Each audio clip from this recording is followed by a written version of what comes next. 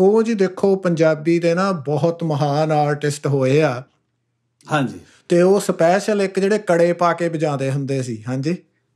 ਹਾਂਜੀ ਉਹ ਕੜਿਆਂ ਦੀ ਕਹਾਣੀ ਤੁਹਾਨੂੰ ਮੈਂ ਦੱਸਦਾ ਹਾਂ ਜਦੋਂ। ਮੈਂ ਮਿਲਿਆ ਨਾ ਹਾਂਜੀ। ਤੇ ਉਹ ਉਹ ਤੁੰਬੀ ਸੀ ਤੁੰਬੀ ਵੀ ਵੱਡਾ ਤੁੰਬਾ ਹੁੰਦਾ ਸੀ ਉਹਨਾਂ ਕੋਲ ਹਾਂਜੀ। ਤੇ ਉਹ ਵਜਾਉਂਦੇ ਹੁੰਦੇ ਸੀ ਤਾਂ ਸਡਨਲੀ ਇੱਕ ਪ੍ਰੋਗਰਾਮ ਤੇ ਆਉਂਦੇ ਆ ਉਹਨਾਂ ਦੀ ਕਾਰ ਦਾ ਐਕਸੀਡੈਂਟ ਇੱਕ ਟਰੈਕਟਰ ਨਾਲ ਹੋ ਗਿਆ ਸੀ।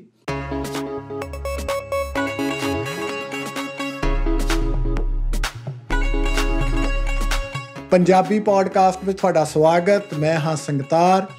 ਪੰਜਾਬੀ ਪੋਡਕਾਸਟ 'ਤੇ ਅੱਜ ਦੇ ਐਪੀਸੋਡ ਦੇ ਵਿੱਚ ਆਪਾਂ ਗੱਲਬਾਤ ਕੀਤੀ ਆ ਐਚਐਸ ਭਜਨ ਹੋਣਾ ਦੇ ਨਾਲ।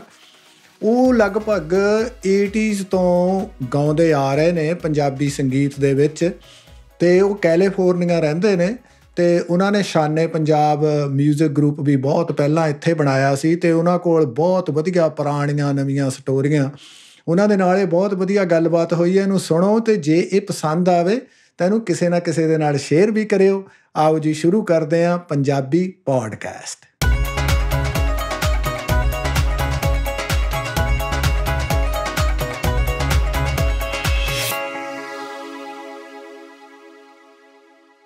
ਭਜਨ ਜੀ, ਸਤਿ ਸ੍ਰੀ ਅਕਾਲ। ਕੀ ਹਾਲ ਚਾਲ ਜੀ ਤੁਹਾਡਾ? ਬਹੁਤ ਵਧੀਆ ਸੰਤਾਰ ਜੀ, ਤੁਸੀਂ ਦੱਸੋ ਤੁਹਾਡਾ ਕੀ ਹਾਲ ਹੈ?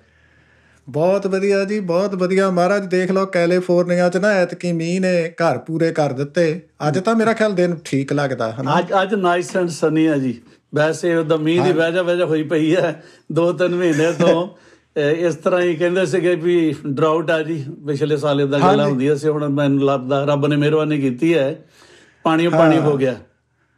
ਹਾਂਜੀ ਹਾਂਜੀ। ਮੈਂ ਦੇਖਦਾ ਸੀਗਾ ਜੀ ਦੇਖ ਲਓ ਕਿੰਨੇ ਹਜ਼ਾਰਾਂ ਏਕੜ ਲੋਕਾਂ ਨੇ ਨਾ ਘਰਾਂ 'ਚ ਘਾਹ ਲਾਏ ਹੋਏ ਆ। ਹਾਂਜੀ ਹਾਂਜੀ। ਇਹ ਜਿਹੜੇ ਅਸੀਂ ਪੰਜਾਬ ਤੋਂ ਆਨੇ ਆ ਸਾਡੇ ਲਈ ਤਾਂ ਬਹੁਤ ਹੋਰ ਤਰ੍ਹਾਂ ਦੀ ਗੱਲ ਲੱਗਦੀ ਆ। ਹੁਣ ਤਾਂ ਉਦਾਂ ਉੱਥੇ ਵੀ ਲੋਕ ਲਾਣ ਲੱਗ ਪਏ ਘਾਹ। ਫੁੱਟਬਾਲ ਦੀ ਗਰਾਊਂਡ 'ਚ ਹੁੰਦਾ ਸੀ ਪਹਿਲਾਂ ਤਾਂ। ਪਹਿਲਾਂ ਹਾਂਜੀ ਹਾਂਜੀ। ਹੁਣ ਹੁਣ ਤਾਂ ਹੌਲੀ ਹੌਲੀ ਕਾਪੀ ਕਰ ਰਹੇ ਜੀ ਸਾਰਾ ਕੁਝ ਹਾਂ ਪਰ ਉਦਾਂ ਮੇਰਾ ਖਿਆਲ ਇਹ ਤਾਂ ਵੇਸਟ ਆਫ ਵਾਟਰ ਹੀ ਆ। ਪਾਣੀ ਦੀ ਜਿੱਦਾਂ ਦੁਰਵਰਤੋਂ ਹੀ ਆ ਘਾਹ ਦੇ ਉੱਤੇ ਕਰਨੀ ਤਾਂ। ਹਾਂਜੀ ਆਪਣੇ ਬੰਦ ਕਰਤਾ ਸੀ ਪਿਛਲੇ ਸਾਲ ਜੀ ਕਹਿੰਦੇ ਸੀ ਸਿਰਫ ਕਾਰਾਂ ਤੇ ਕਾਰਾਂ ਹੀ ਧੋ ਸਕਦੇ ਆ। ਤੇ ਫੇਰ ਵੀ ਫੇਰ ਵੀ ਲੋਕ ਚੋਰੀ ਛਿਪੇ ਲਾਈ ਜਾਂਦੇ ਸੀ। ਹਾਂ। ਹਾਂ ਹਾਂ ਅਸੀਂ ਵੀ ਐਲਏ ਰਹੇ ਆ ਬਹੁਤ ਸਾਲ ਤੇ ਅਸੀਂ ਐਲਏ ਮੂਵ ਹੋਣ ਤੋਂ ਪਹਿਲਾਂ ਆਪਣਾ ਘਾਹ ਸਾਰਾ ਪੱਟ ਦਿੱਤਾ ਸੀ ਜੀ ਨੈਚੁਰਲ। ਜਿਹੜੀਆਂ ਲੋਕਲ ਝਾੜੀਆਂ ਬੂਟੀਆਂ ਉਹ ਲਾਤੀਆਂ ਸੀਗੀਆਂ ਤੇ ਉਹ ਫੇ ਪਾਣੀ ਉਹ ਫੇ ਚੱਲ ਜਾਂਦੀਆਂ ਡਰਾਊਟ ਹਾਂਜੀ ਉਹ ਹਾਂਜੀ। ਸੁੱਕਾ ਚੱਲ ਜਾਂਦੀਆਂ। ਤੁਹਾਡੇ ਤੇ ਗਰਮੀ ਮੇਰੇ ਖਿਆਲ ਸਾਡੇ ਅਸੀਂ ਨਾਰਥਰਨ ਕੈਲੀਫੋਰਨੀਆ ਸੈਨੋਜ਼ੇ ਆ ਤੇ ਸਾਡੇ ਨਾਲੋਂ ਵੀ ਜ਼ਿਆਦਾ। ਗਰਮੀ ਤੁਹਾਡੇ ਪੈਂਦੀ ਉਧਰ। ਉਹ ਤਾਂ ਮਾਰੂ ਥਾਲੀ ਆ ਜੀ ਮਾਰੂ ਥਾਲੀ ਆ। ਹਾਂ ਨਹੀਂ ਬਹੁਤ ਬਹੁਤ। ਤੇ ਹਾਂ ਪਰ ਜਦੋਂ ਦੇ ਤੁਸੀਂ ਆਏ ਹੋ ਉਦੋਂ ਦਾ ਤਾਂ ਬਹੁਤ ਕੁਝ ਬਦਲ ਗਿਆ ਇੱਥੇ ਆਪਣੇ ਨਾਰਥ ਕੈਲੀਫੋਰਨੀਆ ਦੇ ਵਿੱਚ ਵੀ ਹਾਂਜੀ। ਮੈਂ ਕਾਫੀ ਦੇਰ ਦਾ ਜੀ ਇੱਥੇ 1983 ਤੋਂ ਰਹਿ ਰਿਹਾ ਸੈਨੋਜ਼ੇ ਵਾਹ ਜੀ ਵਾਹ। ਸ਼ਹਿਰ ਦੇ ਵਿੱਚ।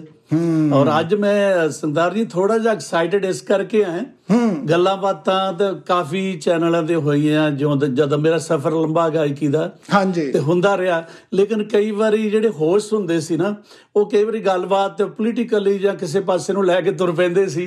ਤੇ ਜਿਹੜਾ ਤੁਹਾਨੂੰ ਤੁਹਾਡੇ ਕੰਮ ਦੀ ਗੱਲ ਵੀ ਨਹੀਂ ਹੁੰਦੀ ਤਾਂ ਨਾ ਜਵਾਬ ਦੇਣ ਨੂੰ ਜੀ ਕਰਦਾ ਸੀ। ਤੇ ਅੱਜ ਮੈਂ ਐਕਸਾਈਟਡ ਤਾਂ ਆ ਵੀ ਤੁਸੀਂ ਖੁਦ ਆਰਟਿਸਟ ਹੋ ਬਹੁਤ ਵਧੀਆ ਹੈ ਨਾ ਔਰ ਤੁਹਾਨੂੰ ਇਸ ਇਸ ਇਹਨਾਂ ਮੁੱਦੇ ਦਾ ਪਤਾ ਔਰ ਤੁਹਾਨੂੰ ਸੁਰ ਤਾਲ ਦੀ ਸਮਝ ਆ ਤੁਹਾਨੂੰ ਗੱਲਾਂ ਬਾਤਾਂ ਦੀ ਸਮਝ ਆ ਵੀ ਕੀ ਪੁੱਛਣਾ ਤੇ ਕੀ ਕਰਨਾ। ਮੈਨੂੰ ਲੱਗਦਾ ਅੱਜ ਦੀ ਜਿਹੜੀ ਵੀ ਇਹ ਗੱਲਬਾਤ ਆਪਣੀ ਕਾਫੀ ਇੰਟਰਸਟਡ ਰਹੇਗੀ। ਹਾਂਜੀ ਹਾਂਜੀ। ਨਹੀਂ ਆਸ ਤਾਂ ਇਹੀ ਹੁੰਦੀ ਜੀ ਕਿ ਮਤਲਬ ਇਹੀ ਹੁੰਦਾ ਕਿ ਜੇ ਦੋ ਆਰਟਿਸਟ ਆਪਸ ਵਿੱਚ ਗੱਲ ਕਰ ਰਹੇ ਆ ਜੀ ਤੇ। ਜਿਹੜਾ ਸੁਣਨ ਵਾਲਾ ਉਹਦੇ ਕੁਝ ਉਹਨੂੰ ਕੁਝ ਵਧੀਆ ਲੱਗੇ ਤਾਂ ਸਾਨੂੰ ਵੀ ਵਧੀਆ ਲੱਗਦਾ। ਬਸ ਇਹੀ ਆ ਕਿ ਕਿਸੇ ਦਾ ਸਮਾਂ ਜਾਨੀ ਕਿ ਬਰਬਾਦ ਨਾ ਹੋਵੇ ਸਾਨੂੰ ਬਰਬਾਦ ਸੁਣਦਿਆਂ ਨਾ ਹੋਵੇ ਹਾਂਜੀ ਮੇਰੇ ਉਸਤਾਦ ਜੀ ਗੁਰੂਦੇਵ ਜੀ ਉਸਤਾਦ ਜਗ ਸਿੰਘ ਜੱਗਾ ਜੀ ਸਵਰਗੀਆ। ਹਾਂਜੀ। ਤੇ ਉਹ ਇੱਕ ਸ਼ੇਰ ਬੋਲਦੇ ਹੁੰਦੇ ਸੀ ਹਮੇਸ਼ਾ। ਹਾਂਜੀ। ਕਹਿੰਦੇ ਸੀ ਕਲਾਕਾਰ ਮੈਂ ਪਿਆਰੇ ਪੰਜਾਬ ਦਾ ਹਾਂ। ਹਾਂਜੀ। ਤੇ ਮੇਰੀ ਕਲਾ ਅੰਦਰ ਕੁਦਰਤ ਵਸਦੀ ਏ। ਹਾਂਜੀ। ਕੋ ਕੋਮਲ ਦਿਲਾਂ ਤੇ ਸਦਾ ਹੈ ਰਾਜ ਇਸ ਦਾ ਤੇ ਪੱਥਰ ਦਿਲਾਂ ਦੇ ਅੰਦਰ ਵੀ ਧੱਸਦੀ ਏ। ਹਾਂਜੀ। ਦਿਲ ਚਾਹੇ ਤਾਂ ਪੱਥਰ ਨੂੰ ਮੋਮ ਕਰਦਾ। ਹਾਂ। ਦਿਲ ਚਾਹੇ ਤਾਂ ਮੋਮ ਪਥਰਾ ਦੇਵਾਂ। ਹਾਂ। ਕਲਮਾਂ ਨਾਲ ਮੈਂ ਛੇੜ ਚੰਗਿਆੜੀਆਂ ਨੂੰ ਅੱਗ ਸੱਤੀ ਸਮੁੰਦਰੀ ਲਾ ਦੇਵਾਂ। ਤੋ ਕਹਿੰਦੇ ਹੁੰਦੇ ਸੀ ਆਰਟਿਸਟ ਦੀ ਪਰਿਭਾਸ਼ਾ ਇਹੋ ਜੀ ਹੋਣੀ ਚਾਹੀਦੀ ਹੈ। ਤੋ ਸੋ ਤੁਹਾਡੇ ਨਾਲ ਅੱਜ ਮੈਨੂੰ ਗੱਲ ਕਰਕੇ ਮੈਂ ਤੁਹਾਡੀਆਂ ਵੈਸੇ ਵੀ ਸਟੇਜ ਤੇ ਵੀ ਸੁਣਿਆ ਤੁਹਾਨੂੰ ਕਈ ਵਾਰੀ ਆਪਣੇ ਵਾਰਿਸ ਨਾਲ ਤੇ ਕਮਲ ਨਾਲ। ਹਾਂਜੀ, ਤੇ ਲੱਗਦਾ ਕਿ ਮੈਨੂੰ ਅੱਜ ਖੁਸ਼ੀ ਹੋ ਰਹੀ ਬਹੁਤ ਤੁਹਾਡੇ ਹਾਂਜੀ ਨਾਲ ਕਰਕੇ। ਮੈਨੂੰ ਵੀ ਬਹੁਤ ਖੁਸ਼ੀ ਹੈ ਜੀ। ਆਪਾਂ ਪਹਿਲਾਂ ਮਿਲੇ ਸੀਗੇ ਤੁਸੀਂ ਤਾਂ ਬਹੁਤ ਪੁਰਾਣੇ ਆਏ ਹੋ ਜਿੱਦਾਂ ਤੁਸੀਂ ਕਿਹਾ 82 ਦੇ ਤੁਸੀਂ ਬਾਹਰ ਆਏ ਹੋ ਆ ਤੇ 83 ਦੇ ਵਿੱਚ ਤੁਸੀਂ ਅਮਰੀਕਾ ਆਏ ਹਾਂਜੀ? ਹਾਂ 82 ਦੇ ਵਿੱਚ ਮੈਂ ਜੀ ਵੈਨਕੂਵਰ ਕੈਨੇਡਾ ਆਇਆ ਸੀ। ਹਾਂਜੀ ਪਹਿਲਾਂ ਕੈਨੇਡਾ ਹਾਂਜੀ। ਇੱਕ ਮਹੀਨਾ ਇੱਕ ਮਹੀਨਾ ਰਿਹਾ ਮੈਂ ਉੱਥੇ। ਤੇ ਤੁਸੀਂ ਉਦੋਂ ਨਹੀਂ ਸੀ ਹੋਰ ਵੀ ਆਰਟਿਸਟ ਨੇ ਕੈਨੇਡਾ ਤੇ ਕਾਫੀ ਆਰਟਿਸਟ ਬਾਅਦ ਦੇ ਵਿੱਚ ਮਾਰਕੀਟ 'ਚ ਆਏ ਨੇ। ਲੇਕਿਨ ਉਦੋਂ ਕੋਈ ਨਹੀਂ ਸੀ ਉਦੋਂ ਕੋਈ ਨਹੀਂ ਸੀ। ਬਹੁਤ ਪੁਰਾਣੇ ਆਰਟਿਸਟ ਇੱਕ ਦੋ ਸੀਗੇ ਸੁਰਜੀਤ ਮਾਧੋਪੁਰੀ ਹਾਂਜੀ। ਤੇ ਹਾਂਜੀ ਤੇ ਅ, ਸ਼ਾਇਦ ਗੁਰਦੇਵ ਸਿੰਘ ਮਾਨ ਤੇ ਲਖਾਰੀ ਸੀਗੇ ਬਹੁਤ ਹਾਂਜੀ ਵਧੀਆ ਹਾਂਜੀ ਹਾਂਜੀ ਹਾਂਜੀ ਕਰਮਜੀਤ ਗਰੇਵਾਲ ਹੁਣੀ ਹੋਣੇ ਆ ਕਰਮਜੀਤ ਗਰੇ ਵਾਲੇ ਹੁਣੀ ਹਾਂਜੀ ਹਾਂਜੀ ਤੇ ਮੈਨੂੰ ਮੈਨੂੰ ਉਹਨਾਂ ਦਿਨਾਂ ਚ ਪੰਜਾਬ ਤੋਂ ਬੜੇ ਘੱਟ ਸ਼ੋਅ ਆਉਂਦੇ ਸੀ ਇੱਥੇ ਬਾਹਰ ਹਾਂਜੀ। ਔਰ ਕੈਸੇਟਸ ਜਿਹੜੀਆਂ ਸੀ ਸਾਰੀਆਂ ਨਾ ਡੁਪਲੀਕੇਟ ਆਉਂਦੀਆਂ ਹੁੰਦੀਆਂ ਉਹ ਕਾਪੀ ਕਰਕੇ ਹਾਂਜੀ। ਲੋਕ ਵੇਚਦੇ ਹੁੰਦੇ ਦੁਕਾਨਦਾਰ ਵੇਚਦੇ ਹੁੰਦੇ ਸੀ ਹਾਂਜੀ ਹਾਂਜੀ ਮਾਨ 뮤직 ਹਾਂ ਮੇਨ ਸਟਰੀਟ ਦੇ ਉੱਤੇ ਹਾਂਜੀ ਮਾਨ 뮤직 ਸੈਂਟਰ ਸੀ ਇੱਕ ਤੇ ਇੱਕ ਮੇਨ ਵੀਡੀਓ ਹੁੰਦਾ ਸੀ ਹਾਂਜੀ। ਮੇਨ ਵੀਡੀਓ ਹਾਂਜੀ।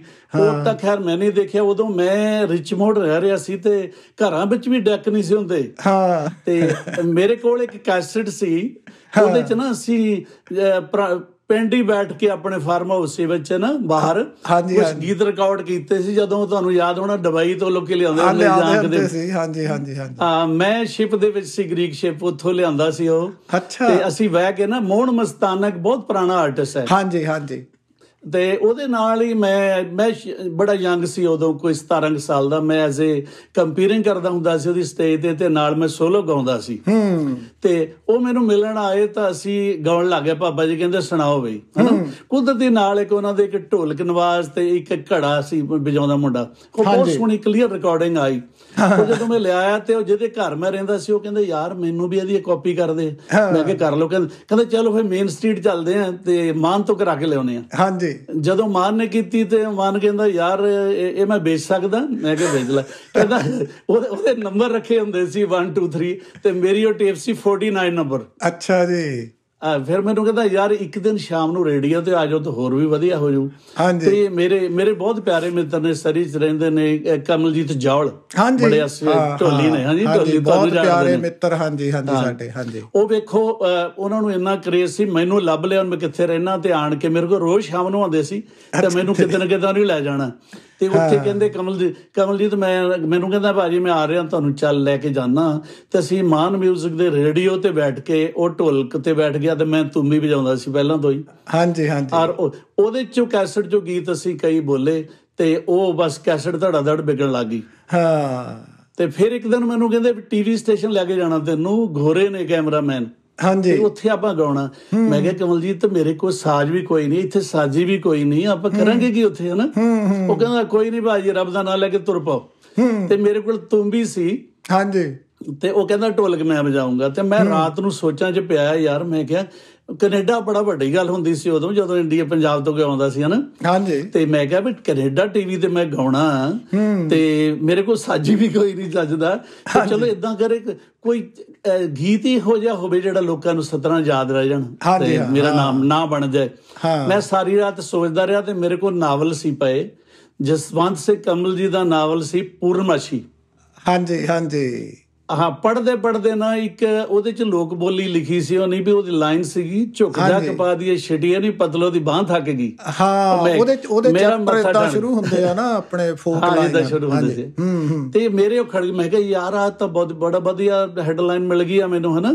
ਤੇ ਮ- ਉਹ ਲਿਖ ਕੇ ਗੀਤ ਸਵੇਰੇ ਉਹ ਬੰਦੇ ਨੂੰ ਸੁਣਾਇਆ ਕਹਿੰਦਾ ਯਾਰ ਬਹੁਤ ਵਧੀਆ। ਅਸੀਂ ਜਾ ਕੇ ਉਹ ਗੀਤ ਉੱਥੇ ਬੋਲਿਆ ਤੁੰਬੀ ਨਾਲ ਤੇ ਚਾਰ ਪੰਜ ਗੀਤ ਮੇਰੇ ਹੋਰ ਸੀ। ਹਾਂਜੀ। ਕੈਨੇਡਾ ਆਉਣ ਤੋਂ ਪਹਿਲਾਂ ਮੈਂ ਤੁਹਾਨੂੰ ਦੱਸਣਾ ਭੁੱਲ ਗਿਆ ਮੈਂ ਸ਼ਿਪ ਵਿੱਚ ਰਿਹਾ 2 2.5 ਸਾਲ। ਆਹ ਤੁਸੀਂ ਦੱਸਿਆ ਗ੍ਰੀਕ ਗ੍ਰੀਸ ਦੇ ਵਿੱਚ ਗ੍ਰੀਕ ਮੈਂ ਸ਼ਿਪ ਚ ਕਾਫੀ ਗੀਤ ਲਿਖੇ ਸੀ ਉੱਥੇ ਵੀ। ਤੇ ਕੁਝ ਗੀਤ ਇਦਾਂ ਸੀ ਮੇਰੀ ਆਪਣੀ ਜੀਵਨੀ ਬਾਰੇ ਮੈਂ ਪਿੰਡੂ ਭੌਂਦੂ ਜੱਟ ਸੀ ਪੰਜਾਬ ਦਾ ਵਾਸੀ ਮੈਨੂੰ ਰਹਿਣੀ ਵਹਿਣੀ ਪਿੰਡਾਂ ਦੀ ਚੰਗੀ ਨਾ ਜਾਪੀ। ਇਹ ਉਹ ਤਿੰਨ ਕੁ ਗੀਤ ਸੀਗੇ ਇੱਕ ਸੀ ਪਿਓ ਪੁੱਤ ਦੇ ਸਵਾਲ ਜਵਾਬ ਆ ਤੇ ਉਹ ਪਿਓ ਮੁੰਡਾ ਅੜੀ ਕਰਦਾ ਪਿਓ ਨੂੰ ਕਹਿੰਦਾ ਪੈਸੇ ਦੇ ਮੈਂ ਬਾਹਰ ਜਾਣਾ ਚਾਹੁੰਦਾ। ਤੇ ਪੁੱਤ ਨੂੰ ਕਹਿੰਦਾ ਵੀ ਪਿਓ ਕਹਿੰਦਾ ਵੀ ਪੁੱਤ ਜਾਣ ਦੇ। ਇਹ ਏਜੰਟਾਂ ਦੇ ਚੱਟੇ ਦਰਖਤ ਹਰੇ ਨਹੀਂ ਹੁੰਦੇ ਤੇਰੇ ਪੈਸੇ ਮਾਰੇ ਜਾਣੇ ਆ ਤੇ ਤੂੰ ਰਹਿਣ ਦੇ ਹਨਾ? ਉਹ ਸੀ ਉਹ ਸੀ ਰੋਜ਼ ਬਣੂ ਫਿਰ ਮੁਰਗਾ ਭਾਫਾਂ ਦੋ ਪਤੀਲਾ ਵੇ ਤੇ ਬਾਪੂ ਕਹਿੰਦਾ ਸੁਣ ਮੁਰਗੀ ਦੀਆਂ ਵਾਂਗਾ ਰੋਟੀ ਤੋਂ ਵੀ ਜਾਵਾਂਗੇ। ਤੇ ਉਹ ਗੀਤ ਤਿੰਨੇ ਜਾਰੇ ਇੰਨੇ ਹਿੱਟ ਹੋਏ ਸੀ ਨਾ ਉਹ ਬਹੁਤ ਸਾਲ ਉੱਥੇ।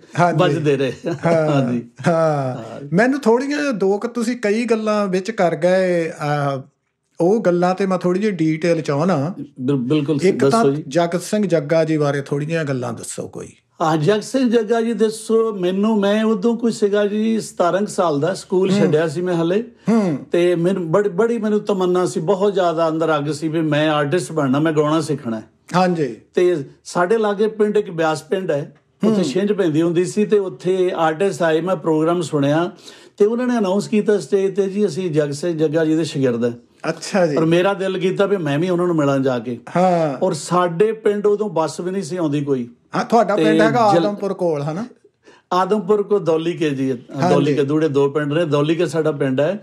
ਤੇ ਸਾਈਕਲ ਤੇ ਦੇਖੋ ਵੀ ਜਲੰਧਰ ਉੱਥੋਂ ਪੈਂਦਾ ਸੀ 16 17 ਕਿਲੋਮੀਟਰ। ਹਾਂਜੀ। ਤੇ ਜਲੰਧਰ ਦੇ ਵੀ ਪਰਲੇ ਪਾਸੇ ਮਾਡਲ ਹਾਊਸ ਹੋ ਰਹਿੰਦੇ ਸੀ। ਅੱਛਾ ਜੀ। ਮੈਂ ਪੁੱਛਦਾ ਪਜਾਉਂਦਾ ਉੱਥੇ ਜਾ ਵੜਿਆ ਸਿਖਰ ਦੁਪਹਿਰਾ ਹੋ ਗਿਆ ਮੈਨੂੰ ਜਦ ਤੱਕ ਗਿਆ ਉੱਥੇ ਜੂਨ ਜੁਲਾਈ ਦਾ ਮਹੀਨਾ। ਹੂੰ। ਤੇ ਗੇਟ ਦੇ ਗੇਟ ਮੈਂ ਖੜਕਾਇਆ ਤੇ ਅੱਗੋਂ ਉਹਨਾਂ ਦਾ ਕੋਈ ਨੌਕਰ ਸ਼ਾਇਦ ਆਇਆ ਉਹ ਕਹਿੰਦੇ ਜੀ ਉਹ ਤੇ ਘਰ ਹੈ ਨਹੀਂ। ਹੂੰ। ਟੈਲੀਫੋਨ ਤਾਂ ਹੁੰਦੇ ਨਹੀਂ ਸੀ ਉਦੋਂ ਕਹਿੰਦੇ ਹਾਂ। ਫਿਰ ਫਿਰ ਕਿਸੇ ਦਿਨ ਆਇਓ। ਮੈਂ ਫਿਰ ਸਾਈਕਲ ਚੱਕਿਆ ਤੇ ਰਸਤੇ 'ਚ ਇਦਾਂ ਬਸ ਪਾਣੀ ਪੀਤਾ ਕਿਤੇ ਰੁਕੇ ਤੇ ਫਿਰ ਵਾਪਸ ਪਿੰਡ ਆ ਗਿਆ। ਤੇ ਹਫ਼ਤੇ ਕੇ ਬਾਅਦ ਮੈਂ ਫੇਰ ਚਲਾ ਗਿਆ। ਹਾਂਜੀ। ਫਿਰ- ਇਸ ਤਰ੍ਹਾਂ ਮੈਨੂੰ ਮੋੜਿਆ ਨਹੀਂ ਵਾਪਸ ਵੀ ਉਹ ਘਰ ਹੈ ਨਹੀਂ। ਵੀ ਮੈਂ ਕਿਹਾ ਜੀ ਤੁਸੀਂ ਦੱਸੋ ਮੈਨੂੰ ਕਿੱਦਣ ਘਰ ਹੋਣਗੇ ਕਹਿੰਦੇ ਵੀ ਇਸ ਦਿਨ ਆ ਜੀ ਸ਼ਾਇਦ। ਤੈਨੂੰ ਮਿਲ ਜਾਣ। ਔਰ ਮੈਂ ਫਿਰ ਤੀਸਰੀ ਵਾਰੀ ਜਦੋਂ ਗਿਆ ਤੇ ਉਹ ਕਹਿੰਦੇ ਲੈ ਆਓ ਅੰਦਰ ਲੈ ਆਓ ਉਹਨੂੰ। ਮੈਨੂੰ ਬਿਠਾਇਆ ਉਹਨਾਂ ਦੀ ਬੈਠਕ ਦੇ ਵਿੱਚ ਤੇ ਗੱਲਾਂ ਬਾਤਾਂ ਮੇਰੇ ਨਾਲ ਕਰ ਰਹੇ ਹਾਂਜੀ। ਕਹਿੰਦੇ ਵੀ ਕੀ ਕਰਦਾ ਤੂੰ? ਕਿਹਨਾਂ ਦਾ ਮੁੰਡਾ। ਮੈਂ ਕਿਹਾ ਜੀ ਖੇਤੀਬਾੜੀ ਜੱਟਾਂ ਦਾ ਮੁੰਡਾ। ਉਹ ਕਹਿੰਦਾ ਫਿਰ ਫਿਰ ਤੂੰ ਇਹ ਕਿਹੜੀ ਲਾਈਨ 'ਚ ਪੈਣਾ? ਕਹਿੰਦਾ ਇਹ ਤੇ ਦੂਰੋਂ ਦੂਰੋਂ ਕਹਿੰਦਾ ਇਹ ਲੱਗਦੇ ਹੁੰਦੇ ਚੰਗੇ ਆਰਟਿਸਟ ਕਹਿੰਦਾ। ਕਹਿੰਦਾ ਭੁੱਖੇ ਮਰਦੇ ਹੁੰਦੇ ਅਖੀਰ 'ਚ। ਮੈਂ ਕਿਹਾ ਜੀ ਦੱਸੋ ਜਿੱਥੇ ਇੰਨੇ ਭੁੱਖੇ ਮਰਦੇ ਮੈਂ ਵੀ ਮਰ ਲਾਂਗਾ। ਹਾਂਜੀ। ਪਰ ਮੈਂ ਸਿੱਖਣਾ ਜ਼ਰੂਰ ਹੈ। ਹਾਂ। ਉਹਨਾਂ ਨੇ ਮੇਰਾ ਜਨੂਨ ਦੇਖਿਆ। ਇਹ ਕਹਿੰਦੇ ਵੀ ਚਲੋ ਜੋ ਵੀ ਤੈਨੂੰ ਆਉਂਦਾ ਸੁਣਾ ਕੁਛ। ਮੈਨੂੰ ਹੁਣ ਯਾਦ ਨਹੀਂ ਕਿਹੜਾ ਗਾਣਾ ਮੈਂ ਉਹਨਾਂ ਨੂੰ ਸੁਣਾਇਆ। ਹਾਂ। ਤੇ ਮੈਨੂੰ ਕਹਿੰਦੇ ਹਾਂ ਕਹਿੰਦਾ ਮਿਹਨਤ ਕਰੇਗਾ ਬਣ ਤਾਂ ਸਕਦਾ ਹੈ। ਹਾਂ। ਫਿਰ ਕਹਿੰਦਾ ਵੀ ਫਲਾਨੀ ਤਰੀਕ ਨੂੰ ਆ ਜਾ। ਤੇ ਆਪਾਂ ਉਸਤਾਦੀ ਸ਼ਾਗਿਰਦੀ ਕਰਦੇ ਆ ਮੈਨੂੰ ਯਾਦ ਹੈ ਤੇ ਇੱਕ ਪੰਛੀ ਸਾਹਿਬ ਸੀ ਉਹਨਾਂ ਦੇ ਸਟੇਜ ਸਕੱਤਰ। ਹਾਂਜੀ। ਉਹਨਾਂ ਨੂੰ ਸੱਦਿਆ ਉਹਨੀ ਤੇ ਉੱਥੇ ਫਿਰ ਪਗੜੀ ਦੀ ਰਸਮ ਅਰਦਾਸ ਹੋਈ। ਤੇ ਮੈਨੂੰ ਫਿਰ ਉਹਨੇ ਆਪਣੇ ਲੜ ਲਾਇਆ ਸੀ ਉਸ ਦਿਨ ਤੋਂ। ਹਾਂ, ਪਰ ਅਨਫੋਰਚੂਨਟਲੀ ਉਦੋਂ ਥੋੜੀ ਛੇਤੀ ਬਾਅਦ ਹੀ ਮੈਂ ਬਾਹਰ ਆ ਗਿਆ ਜਲਦੀ। ਉਹ ਅੱਛਾ ਜੀ। ਉਹ ਜੀ ਦੇਖੋ ਪੰਜਾਬੀ ਦੇ ਨਾ ਬਹੁਤ ਮਹਾਨ ਆਰਟਿਸਟ ਹੋਏ ਆ। ਹਾਂਜੀ। ਤੇ ਉਹ ਸਪੈਸ਼ਲ ਇੱਕ ਜਿਹੜੇ ਕੜੇ ਪਾ ਕੇ ਵਜਾਉਂਦੇ ਹੁੰਦੇ ਸੀ ਹਾਂਜੀ? ਹਾਂਜੀ ਉਹ ਕੜਿਆਂ ਦੀ ਕਹਾਣੀ ਤੁਹਾਨੂੰ ਮੈਂ ਦੱਸਦਾ ਹਾਂ ਜਦੋਂ। ਮੈਂ ਮਿਲਿਆ ਨਾ ਹਾਂਜੀ। ਤੇ ਉਹ ਉਹ ਤੁੰਬੀ ਸੀ ਤੁੰਬੀ ਵੀ ਵੱਡਾ ਤੁੰਬਾ ਹੁੰਦਾ ਸੀ ਉਹਨਾਂ ਕੋਲ। ਹਾਂਜੀ। ਤੇ ਉਹ ਵਜਾਉਂਦੇ ਹੁੰਦੇ ਸੀ ਤਾਂ ਸਡਨਲੀ ਇੱਕ ਪ੍ਰੋਗਰਾਮ ਤੇ ਆਉਂਦੇ ਆ ਉਹਨਾਂ ਦੀ ਕਾਰ ਦਾ ਐਕਸੀਡੈਂਟ ਇੱਕ ਟਰੈਕਟਰ ਨਾਲ ਹੋ ਗਿਆ ਸੀ। ਹਾਂ। ਤੇ ਉਹਨਾਂ ਦੀ ਉਹਨਾਂ ਦੀ ਉਹ ਬਾਂਹ ਟੁੱਟ ਗਈ ਸੀ। ਅੱਛਾ ਜੀ। ਇੱਕ ਹਾਂ ਤੇ ਫਿਰ ਉਹ ਤੁੰਬੀ ਨਹੀਂ ਸੀ ਵੱਜਦੀ। ਉਹ ਅੱਛਾ। ਹਾਂ ਫਿਰ ਉਹ ਕਹਿੰਦੇ ਵੀ ਉਹ ਤੁਹਾਨੂੰ ਯਾਦ ਹੋਣਾ ਵੀ ਪੁਰਾਣੇ ਆਰਟਿਸਟ ਹਮੇਸ਼ਾ ਨਾ ਰਿਦਮ ਆਪਣੇ ਹੱਥ ਰੱਖਦੇ ਹੁੰਦੇ ਤੁਸੀਂ। ਜਿਹਦੇ ਤੇ ਸੁਰਿੰਦਰ ਕੌਰ ਜੀ ਨੂੰ ਕਦੀ ਦੇਖੋ ਤੁਸੀਂ ਨਾ। ਤੇ ਉਹ ਵੀ ਉਹ ਵੀ ਦੇਖੋ ਹੱਥ 'ਚ ਉਹਨੇ ਘੁੰਗਰੂ ਫੜੇ ਸੀ ਇਦਾਂ ਵਜਾਈ ਜਾਂਦੇ ਹੁੰਦੇ ਸੀ ਨਾਲ ਹਨਾ ਤੇ। ਇੱਕ ਬੰਦਾ ਐਕਟਿਵ ਲੱਗਦਾ ਇੱਕ ਰਿਦਮ ਰਹਿੰਦਾ ਸੋਹਣਾ ਹਨਾ। ਇਸ ਕਰਕੇ ਉਹਨਾਂ ਨੇ ਫਿਰ ਦੁਬਾਰਾ ਆਪਣਾ ਨਾ ਉਹ ਕੜੇ ਪਾ ਕੇ ਕੜੇ ਬਣਵਾਇਆ ਆਪ ਉਹਨਾਂ ਨੇ ਫਿਰ ਤੇ ਉਹ। ਡੰਡਾ ਵਿੱਚ ਪਾ ਕੇ ਫੇਰ ਵਜਾਉਂਦੇ ਹੁੰਦੇ ਸੀ। ਉਸ ਤੋਂ ਬਾਅਦ ਫਿਰ ਅਮਰੀਕਾ ਆ ਗਏ ਸੀ ਇੱਥੇ ਮੇਰੇ ਕੋਲ। ਅੱਛਾ ਜੀ। ਤੇ ਇੱਥੇ ਵੀ ਕਾਫੀ ਸਾਲ ਗਾਉਂਦਾ ਰਿਹਾ ਔਰ ਉਹਨਾਂ ਦਾ ਦੇਹਾਂਤ ਵੀ ਇੱਥੇ ਨਿਊਯਾਰਕ ਵਿੱਚ ਹੋਇਆ ਸੀ। ਅੱਛਾ ਅੱਛਾ। ਜੀ ਹਾਂਜੀ ਹਾਂਜੀ। ਅਸੀਂ ਬਹੁਤ ਛੋਟੇ ਸੀਗੇ ਜੀ ਉਹ ਟੀਵੀ ਤੇ ਆਉਂਦੇ ਹੁੰਦੇ ਸੀ ਅੱਖੀਆਂ ਅੱਖੀਆਂ ਅੱਖੀਆਂ ਨਹੀਂ ਮੈਂ ਬੜੀਆਂ ਸਾਂਭ ਕੇ ਰੱਖੀਆਂ ਫਿਰ ਵੀ ਬੋਲ ਪਈਆਂ। ਹਾਂਜੀ। ਫੇਰ ਵੀ ਬੋਲ ਪਈਆਂ ਨਾ ਇਹ ਇਹ ਇਹਨਾਂ ਕਿਹੜੇ ਕਿਹੜੇ ਕਹਿਰ ਗੁਜ਼ਾਰੇ ਕੁੰਡਲਾ ਤੋਂ ਪੁੱਛ ਗੋਰੀਏ। ਇਹ ਵੀ ਗਾਉਂਦੇ ਸੀ ਨੇ ਬਾਕੀ ਮਿਰਜ਼ਾ ਤਾਂ ਬੀਬਾ ਜੀ ਦਾ ਦੋਨਾਂ ਦਾ ਬਹੁਤ ਮਸ਼ਹੂਰ ਸੀ ਰੇਡੀਓ ਤੇ ਜਲੰਧਰ ਹਨਾ। ਕਿਆ ਬਾਤਾਂ ਸੀ। ਬਹੁਤ ਮਹਾਨ ਆਰਟਿਸਟ ਹੋਏ। ਅੱਛਾ ਜੀ ਇੱਕ ਮੈਂ ਤੁਹਾਨੂੰ ਹੋਰ ਗੱਲ ਪੁੱਛਣੀ ਤੁਸੀਂ ਪੜ੍ਹਾਈ ਤੋਂ ਬਾਅਦ ਗਿਆਨੀ ਵੀ ਕੀਤੀ ਹਨਾ? ਹਾਂਜੀ ਮੈਂ ਗਿਆਨੀ ਕੀਤੀ ਜੀ। ਸਕੂਲ ਤੋਂ ਬਾਅਦ ਉਦੋਂ ਸਕੂਲ 10ਵੀਂ ਤੱਕ ਹੀ ਹੁੰਦਾ ਸੀ ਜੀ ਹਾਇਰ ਸੈਕੰਡਰੀ ਸਕੂਲ ਨਹੀਂ ਸੀ ਹੁੰਦੇ। ਔਰ ਪੰਜਾਬੀ ਮੇਰੀ ਬਹੁਤ ਵਧੀਆ ਸੀ ਤੇ ਮੇਰੇ ਪਰਮ ਜੀ ਪਰਮਜੀਤ ਸਿੰਘ ਸੀ ਗਿਆਨੀ ਜੀ ਟੀਚਰ ਮੇਰੇ। ਉਹ। ਮੈਨੂੰ ਕਹਿੰਦੇ ਯਾਰ ਤੂੰ ਇਦਾਂ ਕਰ ਵੀ ਤੂੰ ਗਿਆਨੀ ਕਰੀ ਹਨਾ? ਤੇਰੇ ਬਹੁਤ ਰਹੂਗਾ ਉਦੋਂ ਇਦਾਂ ਹੁੰਦਾ ਸੀ ਵੀ ਜੇ ਹੁਣ ਗਿਆਨੀ ਕਰਾਂਗੇ ਤਾਂ ਨਾਲ ਟੀਚਰ ਲੱਗ ਜਾਣਗੇ ਹਾਂਜੀ। ਗਿਆਨੀ ਕਰਕੇ ਟੀਚਰ ਲੱਗ ਜਾਂਦੇ ਸੀ ਹਾਂਜੀ। ਔਰ ਜੌਬਾਂ ਬੜਾ ਹਾਰਡ ਮਿਲਦੀਆਂ ਸੀ ਉਹਨਾਂ ਦਿਨਾਂ ਵਿੱਚ ਸੀ ਬਹੁਤ ਮੁਸ਼ਕਲ ਮਿਲਦੀਆਂ ਹੁੰਦੀਆਂ ਸੀ। ਔਰ ਮੈਂ ਪ੍ਰਾਈਵੇਟ ਅਕੈਡਮੀ ਸੀ ਯੂਨੀਵਰਸਲ ਹੂੰ। ਪਿਆਰਾ ਪਿਆਰਾ ਸਿੰਘ ਭੋਗਲ ਜੀ ਦੀ ਹਾਂਜੀ। ਇਹ ਕੰਪਨੀ ਵਾਗ ਦੇ ਲਾਗੇ ਸੀ ਤੇ। ਈਵਨਿੰਗ ਕਲਾਸਿਸ ਈਵਨਿੰਗ ਕਲਾਸਿਸ ਹੁੰਦੀਆਂ ਸੀ। ਹਾਂ। ਤੇ ਉੱਥੇ ਉੱਥੇ ਮੈਂ ਪੜਨ ਆਉਣਾ ਸਾਈਕਲ ਤੇ ਰੋਜ਼ ਦੇ। ਪਿੰਡੋਂ। ਹਾਂ। ਤੇ ਉਦੋਂ ਬਹੁਤ ਘੱਟ ਟ੍ਰੈਫਿਕ ਹੁੰਦੀ ਸੀ ਫਰੀਵੇ ਤੇ ਵੀ। ਇਹ ਜਿਹੜੀ ਪਠਾਨਕੋਟ ਜੀਟੀ ਰੋਡ ਆ ਨਾ ਇਹਦੇ ਤੇ ਆਉਂਦਾ ਹੁੰਦਾ ਸੀ। ਮੈਂ ਤਾਂ ਸਾਰਾ ਸ਼ਹਿਰ ਕ੍ਰਾਸ ਕਰਕੇ ਜਾਣਾ ਸਾਈਕਲ ਦੇ ਵਿੱਚ ਤੇ ਸ਼ਾਮ ਨੂੰ ਜਦੋਂ ਮੈਂ ਵਾਪਸ ਤੁਰਨਾ ਨਾ ਤੇ ਮੈਨੂੰ ਪਠਾਨਕੋਟ ਚੌਕ ਦੇ ਤਾਰੇ ਚੜ ਜਾਂਦੇ ਅੰਦਾਜ਼ਾ ਲਾ ਲਓ ਵੀ ਉਸ ਤੋਂ ਬਾਅਦ ਹਨੇਰੇ ਦੇ ਵਿੱਚ ਮੈਂ ਚਲਾ ਕੇ ਆਉਣਾ ਸਾਈਕਲ ਆਪਣਾ। ਹਾਂ। ਤੇ ਬੜਾ ਡਰ ਨਹਿਰ ਦੇ ਜਾਣਾ ਨਹਿਰ ਭਰੀ ਹੁੰਦੀ ਸੀ ਉਹਨਾਂ ਦਿਨਾਂ ਵਿੱਚ ਸਾਈਕਲ ਦੇ ਪਿੱਛੇ ਤਾਂ ਉਹਨਾਂ ਦਿਨਾਂ 'ਚ ਬੰਦਾ ਮਾਰ ਦਿੰਦੇ ਸਾਈਕਲ ਖੋ ਕੇ। ਇਹ ਇਹ ਗੱਲਾਂ ਕਿਹੜੇ ਸੰਨ ਦੀਆਂ ਜੀ? 80 ਦੀਆਂ? ਇਹ ਇਹ ਜੀ ਇਹ ਇਹ ਗੱਲਾਂ ਕੋਈ ਹੈਗੀਆਂ 76 ਦੀਆਂ। ਉਹ ਅੱਛਾ ਅੱਛਾ 76 75, 7 ਦੀਆਂ ਵਾਹ ਜੀ ਵਾਹ ਅੱਛਾ ਜੀ। ਔਰ ਮੈਂ ਜਿਉਂ ਹੀ ਨਹਿਰ ਤੇ ਚੜਨਾ ਨਾ ਕਿਸ਼ਨਗੜ੍ਹ ਦੇ ਲਾਗਿਓ ਫਿਰ ਉਹ ਵਿੱਚ ਸਾਈਕਲ ਭਜਾਈ ਜਾਣਾ ਤੇਜ਼ ਵਿੱਚ ਜਲਦੀ ਘਰ ਪਹੁੰਚਾ ਨਾਲ ਵਾਹਿਗੁਰੂ ਵਾਹਿਗੁਰੂ ਸ਼ੁਰੂ ਕਰ ਦੇਣਾ। ਚੋਰ ਚੱਕ ਚੋਰ ਚੱਕਾ ਨਾ ਮਿਲ ਜੇ ਰਾਜ ਕੋਈ। ਹਾਂਜੀ ਹਾਂ। ਹਾਂ। ਉਹ ਤੇ ਕਹਾਣੀ ਆ ਨਾ ਉਹਦੇ ਕਿ ਮੁੰਸ਼ੀ ਪ੍ਰੇਮ ਚੰਦ ਹੁਣਾਂ ਦੀ ਪੇਮੀ ਦੇ ਨਿਆਣੇ ਪਤਾ ਨਹੀਂ ਤੁਸੀਂ ਪੜ੍ਹੀ ਹੋ ਕਿ ਨਹੀਂ। ਆ ਮੈਂ ਪੜ੍ਹੀ ਹੁਣ ਮੈਨੂੰ ਯਾਦ ਭੁੱਲ ਗਈ ਸੁਣਿਆ ਤਾਂ ਹੈ ਮੈਂ ਇਹਦੇ ਬਾਰੇ। ਹਾਂਜੀ ਹਾਂਜੀ ਉਹ ਗੱਲ ਕੀ ਆ ਕਿ ਉਹ ਕਹਾਣੀ ਦਾ ਐਂਡ ਇਹ ਆ ਕਿ ਦੋ ਛੋਟੇ ਛੋਟੇ ਨਿਆਣੇ ਆ ਉਹ ਕਿਸੇ ਝਿੜੀ 'ਚ ਉਹਨਾਂ ਨੇ ਲੰਘਣਾ ਜੀ। ਹਾਂਜੀ ਤੇ ਉੱਥੇ ਬਹੁਤ ਮਸ਼ਹੂਰ ਗੱਲ ਆ ਕਿ ਜੀ ਇੱਥੇ ਭੂਤ ਪ੍ਰੇਤ ਰਹਿੰਦੇ ਆ ਕੋਈ ਚੜੇਲ ਰਹਿੰਦੀ ਉਹ ਨਿਆਣਿਆਂ ਨੂੰ ਫੜ ਕੇ ਖਾ। ਖਾ ਲੈਂਦੀ ਆ। ਤੇ ਉਹ ਸੋਚਦੇ ਕਿ ਅਸੀਂ ਕਿੱਦਾਂ ਲੰਘਾਂਗੇ ਤੇ ਉਹਨਾਂ ਨੂੰ ਪਤਾ ਨਹੀਂ ਲੱਗਦਾ ਵੀ ਵੀ ਅਸੀਂ ਕਿੱਦਾਂ ਲੰਘੀਏ। ਉਹਨਾਂ ਨੂੰ ਕੋਈ ਨਾ ਰੱਬ ਦਾ ਨਾਂ ਨਾ ਕੋਈ ਵੀ ਚੀਜ਼ ਉਹਨਾਂ ਨੂੰ ਨਾ ਦਿਲਾਸਾ ਨਹੀਂ ਦਿੰਦੀ ਬੱਚਿਆਂ ਨੂੰ। ਹਾਂਜੀ? ਤੇ ਫਿਰ ਉਹ ਜਿਹੜੀ ਬੜੀ ਭੈਣ ਉਹ ਛੋਟੀ ਨੂੰ ਕਹਿੰਦੀ ਕਹਿੰਦੀ ਕੋਈ ਨਹੀਂ ਕਹਿੰਦੀ ਜੇ ਕੋਈ ਆ ਗਈ ਮੈਨੂੰ ਹੁਣ ਚੇਤਾ ਨਹੀਂ ਚੜੇਲ ਕੇ ਕੀ ਆਂਦੀ ਆ ਉਹ ਕਹਿੰਦੀ ਜੇ ਕੋਈ ਆ ਗਈ ਚੜੇਲ ਜਾਂ ਕੁਛ ਅਸੀਂ ਉਹਨੂੰ ਕਹਾਂਗੇ ਸਾਨੂੰ ਨਾ ਫੜ ਅਸੀਂ ਪੇਮੀ ਦੇ ਨਿਆਣੇ ਆ। ਹਾਂਜੀ। ਸਰੇਵੀ ਦੇ ਰਹਿਣੇ ਸਾਨੂੰ ਨਾ ਫੜ। ਕਿਉਂਕਿ ਕਿਉਂਕਿ ਬੱਚੇ ਲਈ ਮਾਂ ਹੀ ਸਭ ਤੋਂ ਬੜਾ ਦੇਵਤਾ ਉਹਨਾਂ ਨੂੰ ਇਹ ਲੱਗਾ ਵੀ ਹਾਂ। ਉਹ ਉਹਨਾਂ ਨੂੰ ਹੌਸਲਾ ਮਿਲਿਆ ਤੇ ਉਹ ਲੰਘ ਗਏ ਉੱਥੋਂ ਹਾਂਜੀ। ਇਹ ਲਾਂਗੇ ਇਹ ਲਾਂਗੇ ਜੀ ਹਾਂ ਜੀ ਬਾਕੀ ਇਹ ਸਫ਼ਰ ਦੌਰਾਨ ਜੀ ਮੇਰਾ ਬਹੁਤ ਆਰਟਿਸਟਾਂ ਨਾਲ ਬਹੁਤ ਪਿਆ ਹੈ ਔਰ। ਬਹੁਤ ਚੰਗੇ ਐਕਸਪੀਰੀਅੰਸ ਜ਼ਿੰਦਗੀ ਦੇ ਹੋਏ ਉਹ ਆਰਟਿਸਟ ਜਿਹਨਾਂ ਨੂੰ ਮੈਂ ਕਦੇ ਚਾਹੁੰਦਾ ਹੁੰਦਾ ਸੀ ਮੈਨੂੰ ਵਕਤ ਨਹੀਂ ਸੀ ਪੰਜਾਬ 'ਚ ਮਿਲਿਆ ਵੀ ਮੈਂ ਇਹਨਾਂ ਨੂੰ ਥੱਲੇ ਬਹਿ ਕੇ ਸੁਣਾ ਹਾਂਜੀ। ਤੁਸੀਂ ਅਖਾੜੇ ਦੇਖੇ ਹੋਣੇ ਪਿੰਡਾਂ ਦੇ ਲੋਕ ਘਾਦੇ ਹਾਂਜੀ। ਰਹਿੰਦੇ ਸੀ ਜਾਂ ਹਾਂਜੀ, ਥੱਲੇ ਹਾਂਜੀ। ਬਹਿ ਜਾਂਦੇ ਸੀ ਹਾਂਜੀ ਅਸੀਂ ਆਪ ਦੇਖੇ ਜੀ ਇਦਾਂ ਹਾਂ ਤੇ ਉਹ ਮੈਂ ਪੰਜਾਬ ਛੱਡਣ ਤੋਂ ਪਹਿਲਾਂ ਸੁਰਿੰਦਰ ਸ਼ਿੰਦਾ ਜੀ ਹਾਂਜੀ। ਕੁਲਦੀਪ ਮਾਨਕ ਜੀ ਫਿਰ ਉਦੋਂ ਮੁਹੰਮਦ ਸਦੀਕ ਸਾਹਿਬ ਹਾਂਜੀ। ਇਹ ਜਦੋਂ ਵਕਤ ਆਇਆ ਤੇ ਵਾਹਿਗੁਰੂ ਨੇ ਇੰਨੀ ਮਿਹਰ ਕੀਤੀ ਵੀ ਮੈਂ ਜਦੋਂ ਇੱਥੇ ਆਣ ਕੇ ਕੈਲੀਫੋਰਨੀਆ ਵਿੱਚ ਆਪਣਾ ਮੈਂ ਸ਼ਾਨੇ ਪੰਜਾਬ ਨਾਂ ਦਾ ਬੈਂਡ ਸਭ ਤੋਂ ਪਹਿਲੇ ਸ਼ੁਰੂ ਕੀਤਾ ਹੈ ਹਾਂਜੀ ਹਾਂਜੀ। ਮੈਂ ਵੀ ਤੁਹਾਨੂੰ ਉਹਦੇ ਥਰੂ ਹੀ ਮਿਲਿਆ ਸੀ। ਤੁਸੀਂ ਇੱਕ ਵਾਰ ਨਾ। ਆਪਣੇ ਗਰੁੱਪ ਨੂੰ ਲੈ ਕੇ ਆਏ ਸੀ ਤੇ ਸਾਡਾ ਟੀਵੀ ਪ੍ਰੋਗਰਾਮ ਉਦੋਂ ਹੁੰਦਾ ਸੀ। ਮੈਂ। ਹੋਸਟ ਕਰਦਾ ਹੁੰਦਾ ਸੀ ਰਾਜਾ ਐਂਟਰਟੇਨਰਸ ਵੱਲੋਂ ਹੁੰਦਾ ਸੀ। ਹਾਂਜੀ।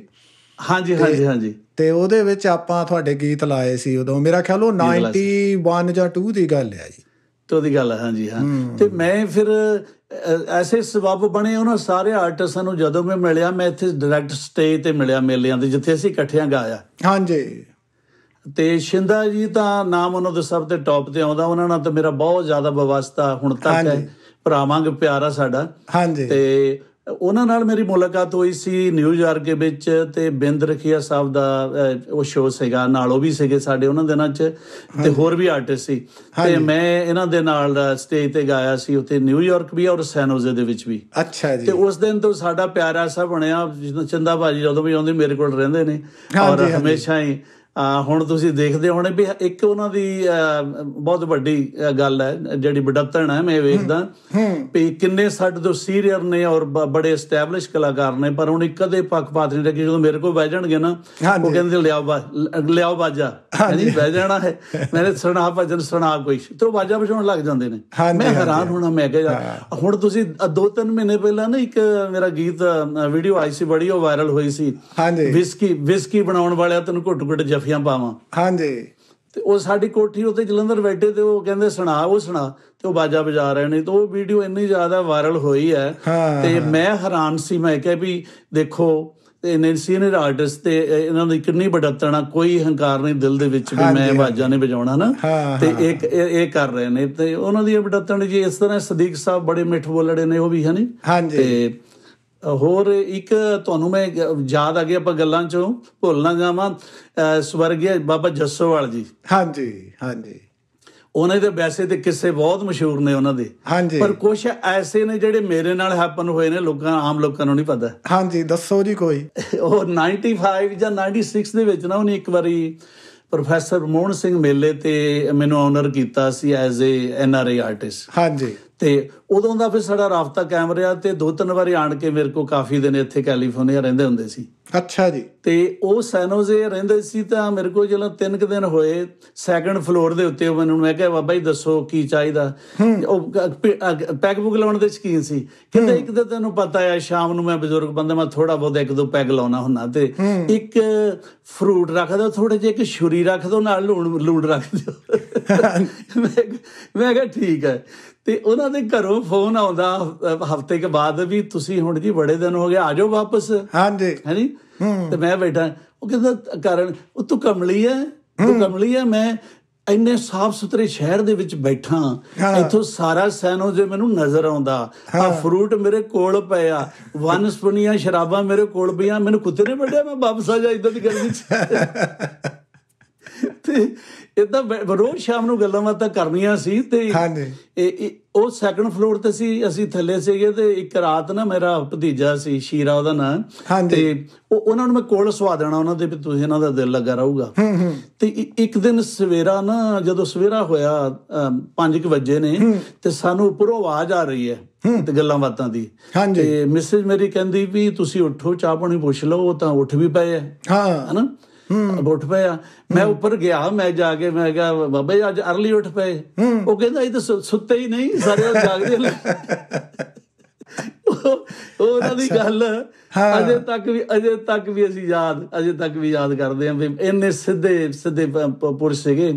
ਤੇ ਜਿਸ ਦਿਨ ਜਦੋਂ ਜਾ ਕੇ ਉਹ ਬਿਮਾਰ ਹੁੰਦੇ ਨੇ ਨਾ ਇੱਥੋਂ ਉਸ ਉਸ ਦੋ ਤਿੰਨ ਦਿਨ ਪਹਿਲਾਂ ਮੇਰੇ ਕੋਲ ਗਏ ਨੇ ਮਿਲ ਕੇ ਤੇ ਸ਼ਿੰਦਰ ਸ਼ਿੰਦਾ ਜੀ ਭਾਜੀ ਵੀ ਉਦੋਂ ਸਾਡੇ ਕੋਲ ਹੀ ਸੀ ਰਾਤ ਨੂੰ ਅਸੀਂ। ਸਵੇਰੇ ਦੋਨੇ ਉਹਨਾਂ ਨੂੰ 에어ਪੋਰਟ ਦੇ ਉੱਤੇ ਚੜਾ ਕੇ ਆਏ ਆ ਤੇ ਉਹ ਵੀਲ ਚੇਅਰ ਤੇ ਬੈਠੇ ਤਾਂ ਲਾਈਨ ਲੱਗੀ ਗੋਰੇ ਵੀ ਨਾਲ ਉਹਨਾਂ ਦੀ ਕਾਫੀ।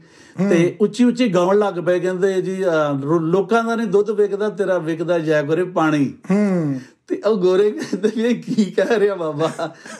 ਅਸੀਂ ਕਿਹਾ ਵੀ ਵੈਸੇ ਵਾਪਸ ਜਾ ਰਿਹਾ ਹੁਣ ਘਰ ਨੂੰ ਖੁਸ਼ ਬਹੁਤ ਹੈ ਗਾਉਂਦਾ ਹੈ। ਇਦਾਂ ਦੀਆਂ ਗੱਲਾਂ ਸੀ। ਤੇ ਮੇਰੇ ਨਾਲ ਮੇਰੇ ਇੱਕ ਦੋਸਤ ਆ ਉਹਨਾਂ ਦਾ ਘਰ ਲੱਗੇ ਚਰਨ ਭੰਡਾਲ ਜੀ ਤੇ ਉਹਨਾਂ ਦੇ ਬੱਚੇ ਦਿਲਪ੍ਰੀਤ ਭੰਡਾਲ ਹੋਰ ਸਾਰੇ ਬੈਠੇ। ਉਹਨਾਂ ਨੂੰ ਬੜਾ ਸ਼ੌਕ ਸੀ ਮੈਨੂੰ ਇਹਦੇ ਗੱਲਾਂ ਸੁਣਨੀਆਂ ਤੇ ਉਦੋਂ ਉਦੋਂ ਢਿੱਲੇ ਸੀ ਜਦੋਂ ਆਖਰੀ ਤੇ ਉਦੋਂ ਪੈਗ ਨਹੀਂ ਸੀ ਪੀਂਦੇ ਛੱਡ ਗਏ ਸੀ। ਡਾਕਟਰ ਨੇ ਮਨਾ ਕੀਤਾ ਵੀ ਤੁਹਾਡੀ ਸ਼ੂਗਰ ਹਾਈ ਹੈ। ਹਾਂਜੀ। ਤੇ ਉਹ ਕਹਿੰਦੇ ਜੀ ਕਹਿੰਦੇ ਜੀ ਇਹਨਾਂ ਨੂੰ ਦੁੱਧ ਦਾ ਦੁੱਧ ਬਣਾ ਦਿਓ ਦੁੱਧ ਦਾ ਗਲਾਸ ਕਰ ਦਿਓ ਜੀ ਗਰਮ। ਦੁੱਧ ਮੋਰੇ ਪਿਆ ਤੇ ਉਹ ਸਾਡੇ ਨਾਲ ਗੱਲਾਂ ਕਰੀ ਜਾ ਰਿਹਾ ਦੁੱਧ ਨਹੀਂ ਪੀਂਦੇ ਤੇ ਪਹਿਲਾਂ ਇੱਕ ਮੁੰਡਾ ਆਇਆ ਕਹਿੰਦਾ ਬਾਬਾ ਜੀ ਦੁੱਧ ਠੰਡਾ ਹੋ ਜਾਣਾ ਹੈ, ਪੀ ਲਓ। ਉਹਨੇ ਧਿਆਨ ਨਹੀਂ ਦਿੱਤਾ। 5 ਮਿੰਟ ਬਾਅਦ ਇੱਕ ਹੋਰ ਬਾਬਾ ਜੀ ਦੁੱਧ ਪੀ ਲਓ ਫਿਰ ਗੱਲਾਂ ਫੇਰ ਕਰਦੇ ਠੰਡਾ ਹੋ ਜਾਣਾ। ਫਿਰ ਫਿਰ ਮੇਰੇ ਮੂੰਹੋਂ ਨਿਕਲ ਗਿਆ ਮੂੰਹ ਨਾਲ। ਮੈਂ ਬਾਬਾ ਜੀ ਪਹਿਲਾਂ ਦੁੱਧ ਪੀ ਲਓ। ਹਾਂਜੀ। ਕਹਿੰਦਾ ਉਹ ਯਾਰ ਦੁੱਧ ਦੁੱਧ ਕਰੀ ਜਾਂਦੇ ਮੈਂ ਕੋਈ ਜੰਗਲ 'ਚ ਬੈਠਾ? ਇਹ ਫੇਰ ਨਹੀਂ ਗਰਮ ਹੋ ਸਕਦਾ। ਮੈਨੂੰ ਮਸਾ ਹੀ ਤੁਸੀਂ ਮਿਲੇ ਗੱਲਾਂ ਕਰਦੇ ਆ। ਇਦਾਂ ਇਦਾਂ ਦੀ ਉਹਨਾਂ ਦੀ ਗੱਲਾਂ ਬਾਤਾਂ ਸੀਗੀਆਂ ਜੀ। ਹਾਂ ਨਹੀਂ ਜੀ ਬਹੁਤ ਬਹੁਤ ਜਿੰਦਾ ਦਿਲ ਇਨਸਾਨ ਸੀਗੇ। ਬਿਲਕੁਲ ਬਿਲਕੁਲ ਜੀ। ਹਜ਼ਾਰਾ ਸਿੰਘ ਰਮਤਾ ਜੀ। ਹਾਂਜੀ। ਸ਼ੌਕਤ ਸ਼ੌਕਤ ਅਲੀ ਖਾਨ ਸਾਹਿਬ। ਹਾਂਜੀ ਹਾਂ। ਤਾਂ ਸ਼ੌਕਤ ਅਲੀ ਸਾਹਿਬ ਦਾ ਪ੍ਰੋਗਰਾਮ ਜੀ ਸਾਡੇ ਗਰਾਜ ਵਿੱਚ ਸੀ।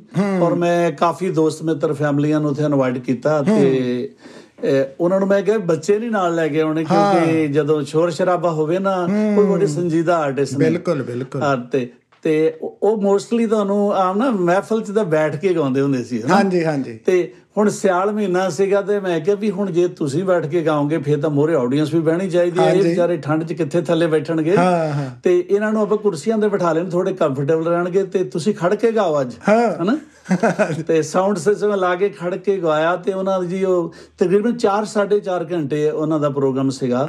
ਔਰ ਦੋ ਵੀਡੀਓ ਕੈਸੇਟਸ ਉਹਨਾਂ ਦੀਆਂ ਰਿਕਾਰਡ ਨੇ ਮੇਰੇ ਕੋਲ ਅੱਜ ਵੀ ਪਈਆਂ ਨੇ। ਤੇ ਉਹ ਪਿੱਛੇ ਜੇ ਮੇਰੇ ਦੋਸਤ ਆਏ ਸੀ ਨਿਰਮਲ ਸਿੱਧੂ ਜੀ ਤੇ ਉਹ ਲੈ ਗਏ ਨੇ ਗੋਲ ਪੇ ਮੈਂ ਉੱਥੇ ਕਰਾਵਾਂਗਾ ਉਹਨਾਂ ਨੂੰ ਪਰ ਉਹਨਾਂ ਨੂੰ ਲੱਭਿਆ ਨੂੰ ਕੋਈ ਬੰਦਾ। ਨਹੀਂ, ਨਹੀਂ, ਉਹ- ਮੈਨੂੰ ਲੱਗਦਾ ਤੁਹਾਨੂੰ ਭੇਜਣੀਆਂ ਪੈਣੀਆਂ। ਹਾਂ ਹਾਂ ਨਹੀਂ ਜੀ ਉਹ ਤੁਸੀਂ ਭੇਜੋ ਆਪਾਂ ਉਹਨਾਂ ਨੂੰ ਡਿਜੀਟਾਈਜ਼ ਕਰਦੇ ਆ ਉਹ ਤਾਂ ਇਹ ਤਾਂ ਚੀਜ਼ਾਂ ਬਹੁਤ ਨਾ ਜਿਹੜੀਆਂ ਬਹੁਤ ਬੜਮੁੱਲੀ ਬਹੁਤ ਸਨ। ਹਾਂਜੀ, ਹਾਂਜੀ। ਤੇ ਜੱਗਾ ਜੱਗਾ ਜੀ ਦੇ ਵੀ ਇਦਾਂ ਮੇਰੇ ਕੋਲ ਦੋ ਕੈਸੇਟਸ ਪਈਆਂ ਜਿਹੜੇ ਉਹ ਗੀਤ ਲਾਈਵ ਸਟੇਜ ਕਿਸੇ ਕੋਲ ਵੀ ਨਹੀਂ ਉਹ ਮੈਂ ਤੁਹਾਨੂੰ ਦੇਵਾਂਗਾ। ਹਾਂ ਉਹ ਤੁਸੀਂ ਮੈਨੂੰ ਦਿਓ ਮੈਂ ਉਹਨਾਂ ਨੂੰ ਡਿਜੀਟਾਈਜ਼ ਕਰਕੇ ਨਾ ਹਾਂਜੀ, ਹਾਂਜੀ। ਉਹਨੂੰ ਪ੍ਰੀਜ਼ਰਵ ਕਰੀਏ ਕਿਤੇ ਕਿਤੇ ਤੁਸੀਂ ਉਹਨੂੰ ਪਾਓ ਤੇ।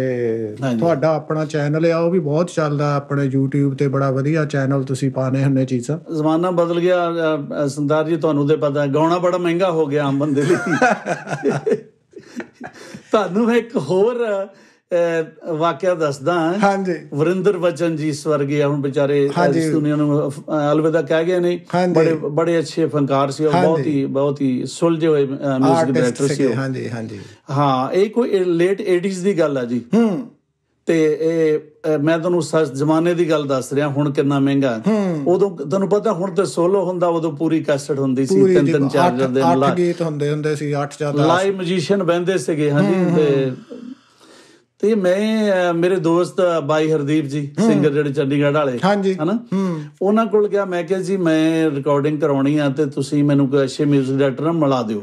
ਉਹ ਮੈਨੂੰ ਲੈ ਕੇ ਗਏ ਲੈ ਕੇ ਗਏ ਉਹਨਾਂ ਕੋਲ। ਹਾਂਜੀ ਬਰਿੰਦਰ ਬਚਨ ਹੋਣਾ ਕੋਲ। ਤੇ ਵਰਿੰਦਰ ਬੱਚਨ ਕੋਲ। ਤੇ ਉਹਨਾਂ ਨੂੰ ਪੁੱਛਿਆ ਉਹਨਾਂ ਨੂੰ ਵੀ ਦੱਸੋ ਪੈਸੇ ਕਿੰਨੇ ਲੈਣੇ ਹਾਂਜੀ। ਤੁਸੀਂ ਬਲੀਵ ਕਰੋਗੇ ਲਾਈਵ 10000 ਰੁਪਇਆ ਮੰਗਿਆ ਉਹਨੇ। ਅੱਛਾ ਜੀ ਹਾਂ। 10000 ਹਾਂ। ਕਰੰਸੀ 80s 80s ਦੇ ਕੋਈ 85 86 ਦੀ ਗੱਲ ਹਾਂਜੀ। ਅ, ਉਹਨਾਂ ਦਿਨਾਂ 'ਚ 10000 ਦੀ ਵੈਲਿਊ ਬੜੀ ਸੀ। ਹਾਂਜੀ ਹਾਂਜੀ। ਹੁਣ ਤਾਂ ਜੀ ਜੇ ਤੁਸੀਂ ਇੱਕ ਸਾਜ਼ ਵਜਵਾਣਾ ਨਾ ਕੋਈ ਮੰਨ ਲਓ ਸਰੰਗੀ ਵਜਵਾਣੀ ਆ ਤੇ ਇੱਕ ਗੀਤ ਦਾ ਸਰੰਗੀ ਵਾਲਾ 10000 ਲੈਂਦਾ ਜਾਂ ਫਲੂਟ ਵਾਲਾ। ਲੈਂਦਾ ਲੈਂਦਾ ਹਾਂਜੀ, ਹਾਂਜੀ। ਉਹਨਾਂ ਨੇ ਮੈਨੂੰ ਯਾਦ ਆ ਵੀ ਦੋ ਸ਼ਿਫਟਾਂ ਦੀ ਦੋ ਦਿਨ ਦੀ ਰਿਕਾਰਡਿੰਗ ਸੀ ਉਹ। ਹੂੰ। ਤੀਸਰੇ ਦਿਨ ਫਿਰ ਉਹਦੀ ਮਿਕਸਿੰਗ ਸੀ ਹਨਾ? ਤੇ ਲਾਈਵ ਸਜੰਦੇ ਸਾਰੇ। ਇਦਾਂ ਹੁੰਦਾ ਸੀ ਤੇ ਤੇ ਮੈਂ ਉਹਨਾਂ ਨੂੰ ਬੜਾ ਖੁਸ਼ ਹੋ ਕੇ ਮੈਂ ਨਾ 11000 ਰੁਪਇਆ ਦਿੱਤਾ ਹੈ। ਅੱਛਾ ਜੀ। ਕਈ ਵਾਰੀ ਆਪਣੇ ਦਿਲ ਚ ਆਉਂਦੀ ਵੀ ਐਨ ਆ ਰਹੀ ਹੈ ਬਾਹਰੋਂ ਆਇਆ ਯਾਰ ਇਹ ਕੰਜੂਸ ਨਾ ਹੋਵੇ ਆਪਾਂ ਨੂੰ ਭਾਜੀ ਹਰਦੀਪ ਨੇ ਕਿਹਾ ਵੀ ਖੁਸ਼ ਐਕਸਟਰਾ ਦੇਈ। ਔਰ ਮੈਂ ਉਹਨਾਂ ਨੂੰ ਜਦੋਂ 1000 ਰੁਪਇਆ ਦਿੱਤਾ ਇੰਨੇ ਖੁਸ਼ ਹੋਏ ਸਾਨੂੰ ਸਾਰੇ ਮਿਊਜ਼ੀਸ਼ੀਅਨਾਂ ਨੂੰ ਨਾਲ ਲੈ ਕੇ ਤੇ ਮੈਨੂੰ ਵੀ ਸਾਨੂੰ ਉਹਨਾਂ ਨੇ ਡਿਨਰ ਕਰਾਇਆ 1000 ਰੁਪਏ ਚ। ਹਾਂ। ਤੇ ਹੁਣ ਮੈਂ ਕਈ ਵਾਰੀ ਜਦੋਂ ਗੱਲ ਜ਼ਿਕਰ ਕਰਦਾ ਲੋਕਾਂ ਨੂੰ ਯਕੀਨ ਨਹੀਂ ਆਉਂਦਾ। ਹਾਂ ਹਾਂ। ਯਕੀਨ ਨਹੀਂ ਆਉਂਦਾ। ਤੇ ਤੁਸੀਂ ਤਾਂ ਦੇਖੋ ਸਟੇਜਾਂ ਤੇ ਜਾਣੋ ਵੇਖਦੇ ਹੋ ਮੈਂ ਵਾਰਸ ਭਾਜੀ ਨੂੰ ਵੀ ਮਿਲਿਆ। ਹੀਰ ਨੂੰ ਵੀ ਮਿਲਿਆ ਹਨਾ ਕਮਲ ਨੂੰ ਉਹਨਾਂ ਨੂੰ ਵੀ ਮਿਲਿਆ। ਔਰ ਉਹ ਉਹ ਵੀ ਬੜੇ ਬੜੇ ਸਾਊ ਸੁਭਾਅ ਦੇ ਬੰਦੇ ਨੇ ਵਾਰਸ ਸਾਹਿਬ ਮੈਨੂੰ ਯਾਦ ਆਇਆ ਤੁਸੀਂ ਸ਼ਾਇਦ ਉਦੋਂ ਨਾਲ ਸੀਗੇ ਜਾਂ ਨਹੀਂ ਸੀਗੇ। ਤੇ ਬੱਲਾ ਰਾਪੁਰ ਬੱਲਾ ਬੱਲਾ। ਤੇ ਇੱਕ ਮੇਲਾ ਹੁੰਦਾ ਹੁੰਦਾ ਸੀ ਹਾਂਜੀ ਨਹੀਂ ਮੈਂ ਨਹੀਂ ਸੀਗਾ ਹਾਂਜੀ। ਹਾਂ ਤੇ ਉਦੋਂ ਆਰਟਿਸਟ ਸਾਰੇ ਜਾਂਦੇ ਹੁੰਦੇ ਮੈਂ ਵੀ ਇੱਕ ਦੋ ਸਾਲ ਸੀਜ਼ਨ ਇੰਡੀਆ ਚ ਲਾਇਆ ਉਹਨਾਂ ਦੇ ਨਾਲ ਆਫਿਸ ਬਣਾਇਆ ਹਾਂ। ਆਫਿਸ ਬਣਾਇਆ ਸੀਗਾ ਤੇ ਜਦੋਂ ਮੈਂ ਉੱਥੇ ਗਿਆ ਤਾਂ ਇਹ ਵੀ ਆਏ ਸੀ ਉੱਥੇ ਵਾਰਿਸ ਹੁਣ। ਮੇਰੇ ਜੇ ਪਿੱਛੇ ਬੈਠੇ ਗੱਲਾਂ ਬਾਤਾਂ ਹੋਈਆਂ ਮੈਨੂੰ ਕਹਿੰਦੇ ਮੈਨੂੰ ਕਹਿੰਦੇ ਭਾਜੀ ਤੁਸੀਂ ਕੀ ਕਰਨੇ ਸੀ ਸੀਜ਼ਨ ਦੇ ਲਿਆ ਕੇ ਇੰਨੀ ਪੇਮੈਂਟ ਇਹਨਾਂ ਨੂੰ ਦੇਣੀ ਹੋਰ ਲੈ ਕੇ ਆਉਣੇ ਆ? ਤੇ ਸਾਡੇ ਕੋਲ ਹੈਗੇ ਸਾਨੂੰ ਦੱਸ ਦਿੰਦੇ ਤੇ ਗਾਉਣਾ ਹੀ ਆ।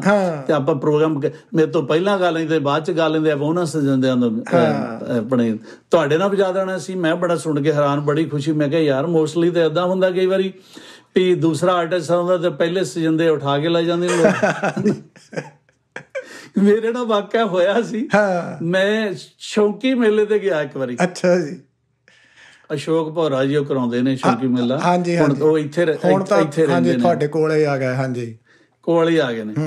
ਔਰ ਮੈਨੂੰ ਨਾ ਕੁਝ ਸਰਦੂਲ ਅਟਵਾਲ ਜੀ ਹੁਣ ਤਾਂ ਫੌਤ ਹੋ ਗਏ ਨੇ ਵਿਚਾਰੇ। ਪੰਜਾਬੀ ਫਿਲਮਾਂ ਉਹਨਾਂ ਨੇ ਵਿਸਾਖੀ ਪੁਰਜਾ ਪੁਰਜਾ ਕੱਟ ਮਰੇ ਹੋਰ ਵੀ ਉਹਨਾਂ ਨੇ ਰਿਲੀਜ਼ ਕੀਤੀਆਂ ਉਹਨਾਂ ਨੇ ਬਣਾਈਆਂ। ਤੇ ਮੇਰਾ ਉਹਨਾਂ ਨਾਲ ਬਹੁਤ ਪਿਆਰ ਸੀ। ਪੁਰਜਾ ਪੁਰਜਾ ਕੱਟ ਮਰੇ ਦੇ ਵਿੱਚ ਉਹਨਾਂ ਨੇ ਮੇਰਾ ਇੱਕ ਗੀਤ ਰਿਕਾਰਡ ਕੀਤਾ ਉਹਦੀ ਵੀਡੀਓ ਵੀ ਸੀ ਉਸ ਫਿਲਮ ਦੇ ਵਿੱਚ। ਅੱਛਾ ਜੀ। ਉਹ ਗੀਤ ਸੀਗਾ ਉਹ ਤੇਰੇ ਕੀ ਲੱਗਦਾ? ਜਿਹੜੇ ਚਿੱਟਿਆਂ ਰਮਾਲਾਂ ਵਾਲੇ। ਹੂੰ। ਤੇ ਉਹ ਮੈਨੂੰ ਕਹਿੰਦਾ ਯਾਰ ਤੈਨੂੰ ਸ਼ੌਕੀ ਮੇਲੇ ਤੇ ਦੇਖਣ ਜਾਣਾ ਤੇ ਤੂੰ ਗਾਣਾ ਜ਼ਰੂਰ ਸੁਣਨਾ। ਮੈਨੂੰ ਪਤਾ ਸੀ ਮੈਂ ਕਿਹਾ ਮੇਰੇ ਕੋਲ ਕੋਈ ਸਾਜੀ ਨਹੀਂ ਹੈ ਕੋਈ ਗੱਲਬਾਤ ਮੈਂ ਕੀ ਕਰੂੰ? ਉਹ ਨਹੀਂ ਕਹਿੰਦਾ ਸਾਜੀ ਉੱਥੇ ਬੜੇ ਹੁੰਦੇ ਅਸੀਂ ਕਹਿ ਦੇਣਾ ਸ਼ੌਕ ਭੌਰ ਨੇ ਤੇ ਅਸੀਂ ਸਾਜੀ ਉਥੋਂ ਯੂਜ਼ ਕਰ ਲਾਂਗੇ। ਆਹੋ ਕੋਈ ਮਿਲ ਤੇ ਜੂਗੇ ਅਹ, ਮੇਰੇ ਤੋਂ ਪਹਿਲਾਂ ਬੜਾ ਨਾਮਵਰ ਆਰਟਿਸਟ ਸੀ ਮੈਂ ਹੁਣ ਨਾਂ ਨਹੀਂ ਲੈਣਾ।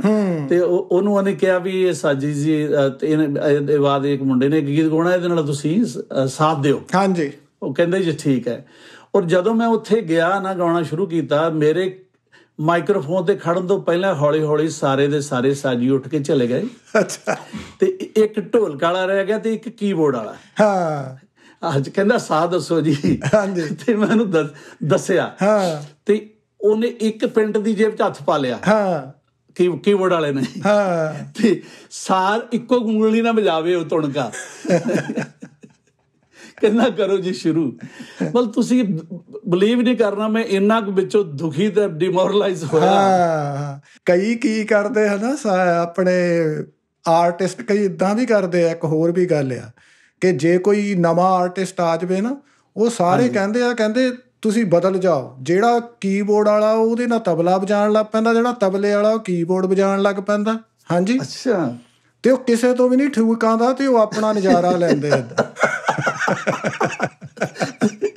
ਗਾਉਣ ਵਾਲਾ ਦੁਖੀ ਹੁੰਦਾ ਉਹ ਨਜ਼ਾਰਾ ਲੈਂਦੇ ਤੇ ਹੁਣ ਤੁਸੀਂ ਦੱਸੋ ਤੁਹਾਡੇ ਨਾਲ ਫਿਰ ਕੀ ਹੋਇਆ? ਉਹ ਜੀ ਫਿਰ ਮੈਂ ਇੱਕ ਸਥਾਈ ਅੰਤਰਾ ਗਾ ਕੇ ਥੈਂਕ ਯੂ ਕਰਕੇ ਥੱਲੇ ਆ ਗਿਆ।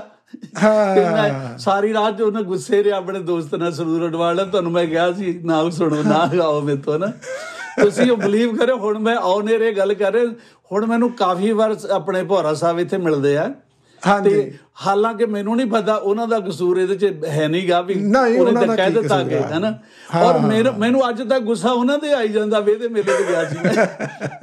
ਉਹਨੂੰ ਮੈਂ ਕਿਹਾ ਨਹੀਂ ਅਗਲ ਕਦੀ ਜਦੋਂ ਮੈਨੂੰ ਮਿਲਦੇ ਆ ਨਾ ਜਦੋਂ ਮਿਲਦੇ ਇੱਥੇ ਉਹ ਮੇਲਾ ਕਰਾਉਂਦੇ ਆ। ਹਾਂ। ਮੇਲਾ ਕਰਾਇਆ ਇੱਥੇ ਸੈਨੋਜ਼ੇ ਵੀ ਮੈਂ ਇੱਕ ਦੋ ਵਾਰੀ ਮੈਨੂੰ ਕਿ ਤੁਸੀਂ ਆਉਣਾ? ਮੈਂ ਹਾਂ ਕਹਿ ਛੱਡਦਾ ਮੈਂ ਜਾਂਦਾ ਨਹੀਂ। ਇਸੇ ਕਿਸੇ। ਨਹੀਂ, ਪਰ ਉਹ ਬੜੀ ਪੁਰਾਣੀ ਗੱਲ ਹੈ। ਉਹ ਉਹਨਾਂ ਨੂੰ ਇਦਾਂ ਫਿਰ ਲੌਜਿਸਟਿਕਸ ਦਾ ਪਤਾ ਨਹੀਂ ਨਾ ਹੁੰਦਾ ਇੱਕ ਇੱਕ ਗੱਲ ਦਾ ਬੰਦਾ ਧਿਆਨ ਨਹੀਂ ਨਾ ਦੇ ਸਕਦਾ। ਜਦੋਂ ਪੋਰਸ ਨੇ ਨਾ ਸਿਕੰਦਰ ਨੂੰ ਸਰੈਂਡਰ ਕੀਤਾ ਹਾਂਜੀ। ਤੇ ਉਸ ਸਿਕੰਦਰ ਨੇ ਉਹਨੂੰ ਪੁੱਛਿਆ ਬੰਦੀ ਬਣਾ ਲਿਆ ਵੀ ਦੱਸ ਮੈਂ ਤੇਰੇ ਨਾਲ ਕੀ ਸਲੂਕ ਕਰਾਂ। ਹਾਂਜੀ। ਤੇ ਆ ਉਹ ਤੁਸੀਂ ਪੜਿਆ ਹੋਣਾ ਪੋਰਸ ਕਹਿੰਦਾ ਸੀ ਵੀ ਉਹ ਹੀ ਕਰ ਜੋ ਇੱਕ ਰਾਜੇ ਨੂੰ ਦੂਜੇ ਰਾਜੇ ਨਾਲ ਕਰਨਾ ਚਾਹੀਦਾ। ਹਾਂ। ਹਾਂ ਇਹ ਸਟੇਜ ਦੇ ਉੱਤੇ ਜਦੋਂ ਦੇਖੋ ਆਰਟਿਸਟ ਦੂਸਰੇ ਆਰਟਿਸਟ ਨਾ ਉਦੋਂ ਰਾਜੇ ਹੁੰਦੇ ਆ ਜਦੋਂ ਤੁਸੀਂ। ਖੜੇ ਹੋ ਪਰਦੇ ਦੇ ਸਾਹਮਣੇ। ਤੇ ਦੂਜੇ ਨਾਲ ਜਦੋਂ ਤੁਸੀਂ ਇਦਾਂ ਪੇਸ਼ ਆਉਨੇ ਹੋ ਸੁਣਨ ਵਾਲਿਆਂ ਨੂੰ ਵੀ ਚੰਗਾ ਲੱਗਦਾ ਔਰ ਜਿਹਦੇ ਨਾਲ ਜਿਹਦੇ ਨਾਲ ਤੁਸੀਂ ਵਿਹਾਰ ਕਰਦੇ ਹੋ ਉਹਦੇ ਦਿਲ ਤੇ ਛਾਪ ਸਾਰੀ ਉਮਰ ਰਹਿ ਜਾਂਦੀ ਹੈ। ਹਾਂਜੀ ਹਾਂਜੀ ਹਾਂਜੀ। ਇਹ ਐਂਡ ਦੇ ਵਿੱਚ ਜੀ ਐਂਡ ਦੇ ਵਿੱਚ ਤਾਂ ਭਾਜੀ ਤੁਹਾਨੂੰ ਪਤਾ ਇਹ ਗੱਲਾਂ ਨਾ ਆਪਣੀ ਇਨਸਿਕਿਉਰਿਟੀ ਦੀਆਂ ਗੱਲਾਂ ਆ। ਆਪਣੇ ਮਨ ਦੀ ਹੀਣ ਭਾਵਨਾ ਦੀਆਂ ਗੱਲਾਂ ਆ ਉਹ ਡਰ ਅਗਲੇ ਨੂੰ ਆਪਣਾ ਹੀ ਹੁੰਦਾ ਕਿ ਐਵੇਂ ਇਹ ਨਾ ਛਾ ਜਵੇ। ਹਾਂ, ਬਸ- ਹੋਰ ਬਸ ਤਾਂ ਕੋਈ। ਗੱਲ ਨਹੀਂ ਹੁੰਦੀ। ਹੋਰ ਕੋਈ ਗੱਲ ਨਹੀਂ ਹੁੰਦੀ ਵੈਸੇ ਇਹ ਗੱਲਾਂ ਥੋੜੇ ਦਿਲ ਵਾਲੀਆਂ ਹੁੰਦੀਆਂ ਕੋਈ ਬਹੁਤੀ ਵਧੀਆ ਗੱਲ ਨਹੀਂ ਹੈ ਨਾ ਹਾਂ ਹਾਂ ਹਾਂ ਨਹੀਂ ਇਹਨਾਂ ਗੱਲਾਂ ਤੋਂ ਉੱਪਰ ਉੱਠਣਾ ਚਾਹੀਦਾ। ਤੇ ਤੁਸੀਂ ਜੀ ਦੇਖ ਲਓ ਕਿੱਡਾ ਲੰਮਾ ਸਫ਼ਰ ਤੈਅ ਕੀਤਾ। 82 ਤੋਂ ਤੁਸੀਂ ਇੱਥੇ ਆਏ ਹੋ ਆ ਤੇ ਫਿਰ ਤੁਸੀਂ ਕੈਲੀਫੋਰਨੀਆ ਦੇ ਵਿੱਚ ਉਹ ਤਾਂ ਜਦੋਂ ਦੇ ਆਏ ਤੁਸੀਂ ਸੈਨ ਹੋਜ਼ੇ ਏਰੀਆ 'ਚ ਹੀ ਰਹੇ ਆ ਹਨਾ? ਹਾਂਜੀ ਮੈਂ ਸੈਨੋਜ਼ੇ ਪਹਿਲਾਂ ਤੋਂ ਸੈਨੋਜ਼ੇ ਹੀ ਹਾਂ ਤੇ ਵੈਸੇ ਮੈਨੂੰ ਤਾਂ ਜੀ ਬਚਪਨ ਤੋਂ ਜਨੂਨ ਸੀ ਬੜਾ। ਕੱਲਾ ਗਾਉਣ ਦਾ ਜਿਹੜੀ ਚੀਜ਼ ਦੇ ਪਿੱਛੇ ਮੈਂ ਜੋ ਵੇਖ ਲੈਂਦਾ ਸੀ ਮੈਨੂੰ ਬੜੀ ਆਦਤ ਸੀ ਮੈਂ ਵੀ ਇਹ ਕਰਾਂ। ਹੂੰ। ਤੇ ਤੁਸੀਂ ਵੇਖੇ ਹੋਣੇ ਆ ਨਾ ਜਿਹੜੇ ਬਾਜ਼ੀਗਰ ਪਿੰਡਾਂ 'ਚ ਬਾਜ਼ੀ ਪਾਉਂਦੇ ਹੁੰਦੇ ਸੀ? ਹਾਂਜੀ। ਤੇ ਉਹਨਾਂ ਨੇ ਪਿੰਡ ਵੰਡੇ ਹੁੰਦੇ ਸੀ ਆਪਣੇ ਸਾਡੇ ਇਲਾਕੇ 'ਚ ਵੀ ਆ ਇੰਨੇ ਪਿੰਡ ਸਾਡੇ ਆ ਤੇ ਇੱਥੇ ਬਾਜ਼ੀ ਅਸੀਂ ਪਾਉਣੀ ਆ ਹਨਾ? ਤੇ ਮੈਂ 7ਵੀਂ ਜਮਾਤ 'ਚ ਪੜ੍ਹਦਾ ਸੀ ਤੇ ਅਸੀਂ ਪਿੰਡ ਬਾਜ਼ੀ ਪਈ ਜੀ ਸਾਡੇ। ਤੇ ਉਹ ਤੁਹਾਨੂੰ ਪਤਾ ਕਿਦਾਂ ਫੱਟੀ ਜੀ ਗੱਡ ਕੇ ਫਿਰ ਉੱਪਰੋਂ ਤਰੇਟੀ ਮਾਰਦੇ ਛਾਲ। ਹਾਂਜੀ ਹਾਂਜੀ ਬੋਰੀਆਂ ਜਿਹੀਆਂ ਰੱਖੀਆਂ ਹੁੰਦੀਆਂ ਕਈ ਕੁਝ ਆਹੋ ਹਾਂ ਅਸੀਂ ਵਾਪਸ ਆਪਣੇ ਖੂਹ ਤੇ ਆਏ ਤਾਂ ਤਾਏ ਚਾਚਾ ਸਾਡੇ ਜੋ ਹਮ ਉਮਰ ਸੀਗੇ ਬੱਚੇ ਅਸੀਂ ਪੰਜ ਸੱਤ ਇਕੱਠੇ। ਤੇ ਅਸੀਂ ਅਸੀਂ ਆਣ ਕੇ ਜੋ ਫੱਟੀ ਕੱਢ ਲਈ। ਮੈਂ ਉਹਨਾਂ ਨੂੰ ਕਿਹਾ ਵੀ ਆਪਾਂ ਵੀ ਤਰੇੜੀ ਲਾਉਣੀ ਹੈ। ਹਾਂ। ਘੁੰਗਰੂ ਬੋਲਦਾ ਵੀ ਅਸੀਂ ਬੰਨ ਲੈ ਲੱਕ ਨੂੰ ਜਿੱਦਾਂ ਉਹ ਬੰਨਦੇ ਹੁੰਦੇ ਬਾਜੀ ਕਰਾਂ ਨਾ ਹਾਂ ਹਾਂ। ਮੈਂ ਮੈਂ ਦੋ ਕੁ ਸਾਲ ਵੱਡਾ ਸਾਰੇ ਉਹ ਕਹਿੰਦੇ ਵੀ ਤੁਸੀਂ ਮੋਰੇ ਹੋਵੋ ਤੁਸੀਂ ਮੋਰੇ ਲੱਗੋ। ਵੀ ਹੋ ਜਾਂਦੇ ਆ। ਉਹ ਮੈਂ ਜਾ ਕੇ ਤੇ ਜਦੋਂ ਫੱਟੀ ਦੇ ਪੈਰ ਲਾ ਰੱਖਿਆ ਹਾਂ। ਤੇ ਉਹਨ ਮੈਨੂੰ ਇੰਨਾ ਚੱਕ ਕੇ ਮਾਰਿਆ ਕੋਠੇ ਜਨਾ ਉੱਜਾ ਨੂੰ ਜੰਮ ਕਰਕੇ। ਤੇ ਉਹ- ਉੱਥੇ ਮੈਂ ਘੁੰਮ ਗਿਆ ਹੁਣ ਆਪਾਂ ਪ੍ਰੈਕਟਿਸ ਤਾਂ ਹੈ ਨਹੀਂ ਸੀ। ਤੇ ਉਹ ਜੇ- ਪਤਾ ਤਾਂ ਹੈ ਨਹੀਂ ਹਾਂ। ਜਿਹੜਾ ਉਹ ਥਾਂ ਗੁੱਡਿਆ ਸੀਗਾ ਨਾ ਥੱਲੇ ਹਾਂ- ਉਹਦੇ। ਤੋਂ ਬਾਹਰ ਮੈਨੂੰ ਪੱਕੇ ਥਾਂ ਮਾਰੇ ਜਾ ਕੇ ਉੱਥੇ ਡਿੱਗਿਆ ਮੈਂ ਆਣ ਕੇ। ਅੱਛਾ। ਤੇ ਬਸ ਘੁੰਗਰੂ ਵੀ ਮੇਰੇ ਟੁੱਟ ਗਏ। ਤੇ- ਨਾਲ ਉਹ ਲੱਤ ਮੇਰੀ ਦੋ ਥਾਂ ਤੋਂ ਟੁੱਟ ਗਈ। ਓਹੋ ਕੜਕ ਅੱਛਾ। ਕੜਕ ਦੇ ਨਾਲ ਇਹ ਦੱਸੋ ਕੇ ਤੇ ਬਜ਼ੁਰਗ ਸਾਡੇ ਚਾਚੇ ਦਾ ਸੀਗਾ ਉਹਨਾਂ ਕੇ ਚੱਕਿਆ।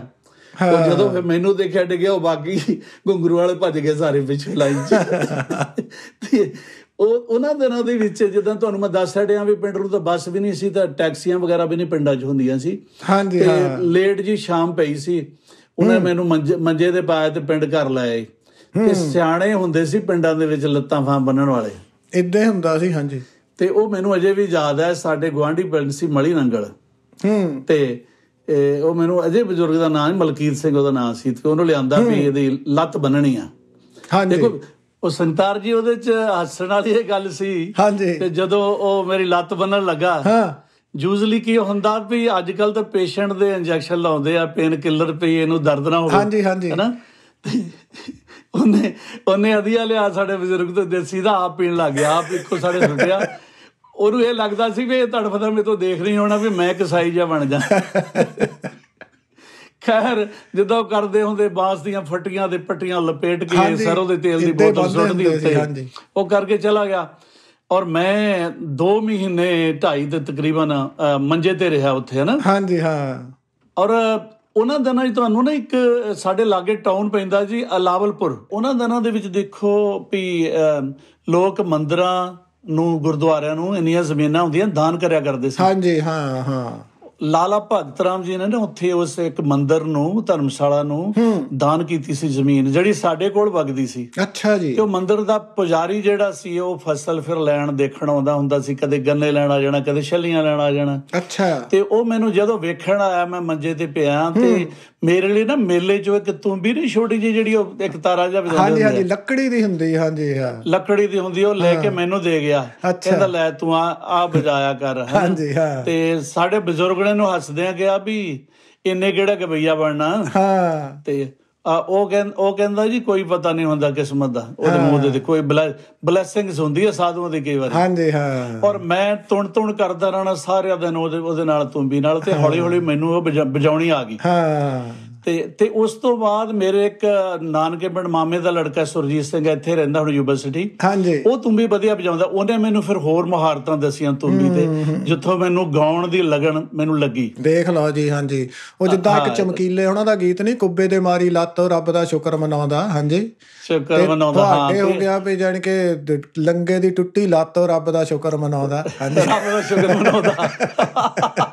ਤੁਸੀਂ ਤੁਸੀਂ ਕੀ ਕਹਿਣਾ ਚਾਹੁੰਦੇ ਵੀ ਰੱਬ ਕਰੇ ਦੂਜੀ ਵੀ ਰੋਟਨ ਨਹੀਂ ਨਹੀਂ ਪਰ ਦੇਖੋ ਬਹਾਨੇ ਨਾਲ ਤੁਹਾਡੇ ਕੋਲ ਸਮਾਂ ਹੋ ਗਿਆ। ਸਰੰਗੀ ਵੀ ਆ ਜਾ ਹਾਂਜੀ। ਨਹੀਂ। ਬਹਾਨੇ ਨਾਲ ਸਮਾਂ ਹੋ ਗਿਆ ਜੀ। ਨਹੀਂ। ਤੁਸੀਂ ਕਿੱਥੇ ਟਾਈਮ ਕੱਢਣਾ ਸੀ ਇੰਨਾ ਹਨਾ? ਕਿਤੇ ਨਹੀਂ ਕੱਢਣਾ ਨਹੀਂ ਕੱਢਣਾ ਸੀ ਉਹ।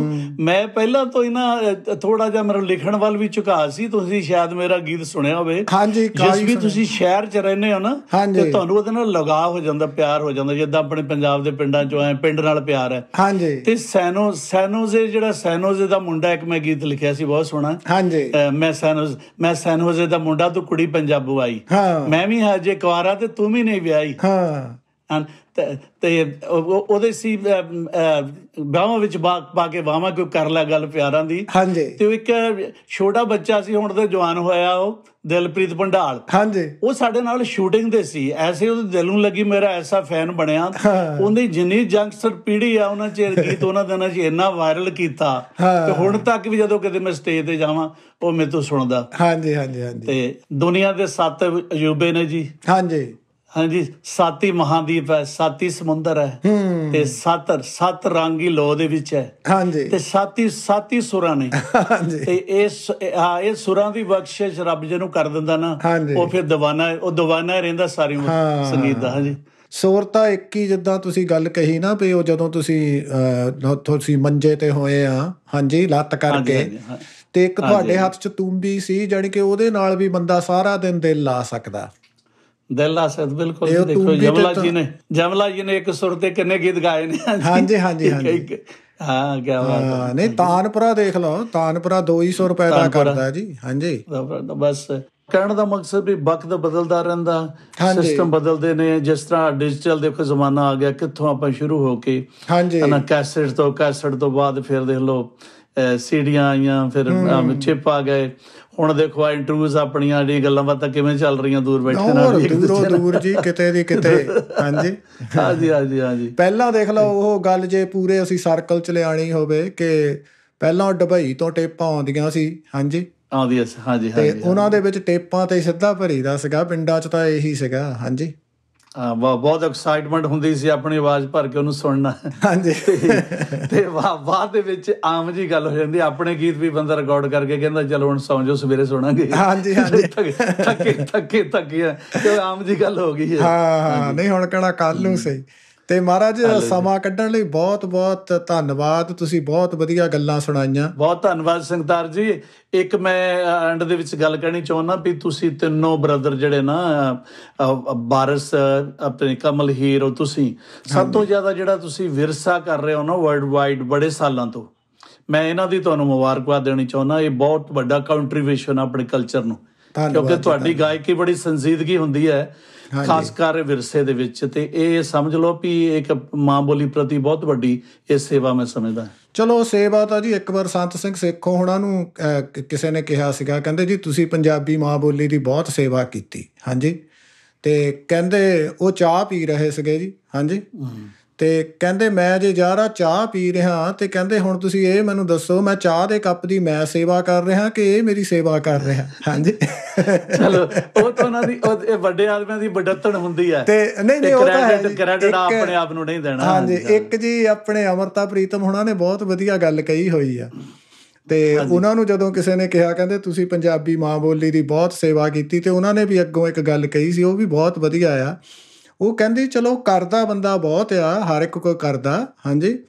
ਕਹਿੰਦੀ ਪਰ ਮੈਨੂੰ ਸੇਵਾ ਸ਼ਬਦ ਤੋਂ ਥੋੜਾ ਜਿਹਾ ਹੈਗਾ ਕਿਉਂਕਿ ਇਹਦੇ ਵਿੱਚ ਇਹ ਆਂਦਾ ਕਿ। ਕਹਿੰਦੀ ਇਦਾਂ ਲੱਗਦਾ ਵੀ ਪੰਜਾਬੀ ਮਾਂ ਬੋਲੀ ਬਿਮਾਰ ਆ ਇਹਨੂੰ ਮੇਰੀ ਸੇਵਾ ਦੀ ਲੋੜ ਆ। ਹਾਂਜੀ। ਤੇ ਕਹਿੰਦੀ ਬਿਮਾਰ ਤਾਂ ਅਸੀਂ ਆ ਸਾਨੂੰ ਇਹਦੀ ਲੋੜ ਆ ਸਗੋਂ ਤਾਂ ਕਿ ਅਸੀਂ ਆਪਣੇ ਸੱਭਿਆਚਾਰ ਨਾਲ ਜੁੜ ਸਕੀਏ ਆਪਣੇ ਵਿਰਸੇ ਨਾਲ ਜੁੜ ਸਕੀਏ। ਤੇ ਜੇ ਆਪਾਂ ਜੀ ਇਦਾਂ ਪੰਜਾਬੀ ਜਿੱਦਾਂ ਤੁਸੀਂ ਅੱਜ ਗੱਲਾਂ ਕੀਤੀਆਂ ਅਸੀਂ ਮਾਰਦੇ ਰਹੀਏ ਗੱਲਾਂ ਇਦਾਂ ਹੀ। ਅੱਗੇ ਤੋਂ ਅੱਗੇ ਜਨਰੇਸ਼ਨ ਵਾਹਿਗੁਰੂ ਸੁੱਖ ਰੱਖੇ ਪੀੜ੍ਹੀਆਂ ਆਪਾਂ ਮਿਲਦੇ ਰਹਿਣਾ ਇਦਾਂ ਗੱਲਾਂ ਕਰਦੇ ਰਹਿਣਾ ਹਾਂਜੀ। ਪੀੜ੍ਹੀਆਂ ਬਦਲੀ ਜਾਣ ਜੀ ਇਦਾਂ ਹੀ ਲੋਕ ਪੰਜਾਬੀ ਦੇ ਵਿੱਚ ਗੱਲਾਂ ਕਰੀ ਜਾਣ ਹੱਸੀ ਖੇਲੀ ਜਾਣ ਤੇ ਇਹਦੀ ਚੜ੍ਹਦੀ ਕਲਾ ਜੀ। ਹਾਂਜੀ। ਇਹ ਜੀ ਗੁਰੂ ਨਾਨਕ ਨੇ ਗਾਈ ਹੈ ਸਤਕਾਰ ਕਰੋ ਗੁਰਬਾਣੀ ਦਾ। ਹਾਂਜੀ ਪੰਜਾਬੀ ਦੇਖੋ 35 ਅੱਖਰ ਨੇ। ਲੇਕਿਨ ਇਹਨਾਂ 35 ਅੱਖਰ ਦੇ ਵਿੱਚ ਮਾਹਰਾਂ ਨੇ ਦੇਖੋ ਆਪ ਸਾਡੇ ਲੇਖਕਾਂ ਨੇ ਕਿਹੋ ਜਿਹੀਆਂ ਗੱਲਾਂ ਕਿਹੋ ਜਿਹੀਆਂ ਚੀਜ਼ਾਂ ਕਿਹੋ ਜਿਹੀਆਂ ਨਜ਼ਮਾਂ ਪੇਸ਼ ਕੀਤੀਆਂ। ਹਾਂਜੀ ਹਾਂ। ਹਾਂਜੀ ਜੇ ਪੜ੍ਹ ਕੇ ਬੰਦਾ ਹੈਰਾਨ ਰਹਿ ਜਾਂਦਾ। ਅਮਰਤਾ ਪ੍ਰੀਤਮ ਜੀ ਦਾ ਤੁਸੀਂ ਨਾਮ ਲਿਆ ਸ਼ਿਵ ਕੁਮਾਰ ਬਟਾਲਵੀ ਜੀ। ਹਾਂਜੀ। ਹੋਰ ਜਿੰਨੇ ਵੀ ਲੇਖਕ ਨੇ ਚਾਹੇ ਉਹ ਨਾਵਲ ਲਿਖਦੇ ਨੇ ਕਹਾਣੀਆਂ ਲਿਖਦੇ ਨੇ ਉਹਨਾਂ ਦਾ ਆਪਣਾ ਆਪਣਾ ਕੰਟਰੀਬਿਊਸ਼ਨ ਯੋਗਦਾਨ ਉਹਨਾਂ ਨੇ ਪਾਇਆ। ਹਾਂਜੀ। ਬਹੁਤ ਬਹੁਤ ਜੀ ਬਹੁਤ। ਬਸ ਇਦਾਂ ਹੀ ਅੱਗੇ ਅੱਗੇ ਚੱਲਦੀ ਰਹੇ ਜੀ ਤੇ ਬਸ ਇਹੀ ਸਾਡੀ ਦੁਆ ਇਹੀ ਸਾਡੀ ਅਰਦਾਸ ਆ ਤੇ ਇਹੀ ਸਾਡਾ ਸੁਪਨਾ ਵੀ ਆ ਜੀ। ਹਾਂਜੀ। ਬਹੁਤ ਬਹੁਤ ਧੰਨਵਾਦ ਜੀ। ਥੈਂਕ ਯੂ ਸੰਗਤਾਰ ਜੀ ਇਹਦੇ ਨਾਲ ਹੀ ਸਾਰੇ ਪੰਜਾਬੀ ਸਰੋਤਿਆਂ ਨੂੰ ਜੋ ਦੇਸ਼ ਵਿਦੇਸ਼ ਬੈਠੇ ਸਾਡੀਆਂ ਗੱਲਾਂ ਬਾਤਾਂ ਸੁਣ ਰਹੇ ਨੇ ਸਾਡੇ ਵੱਲੋਂ ਪਿਆਰ ਭਰੀ ਸਤਿ ਸ੍ਰੀ ਅਕਾਲ ਜੀ। ਸਤਿ ਸ੍ਰੀ ਅਕਾਲ।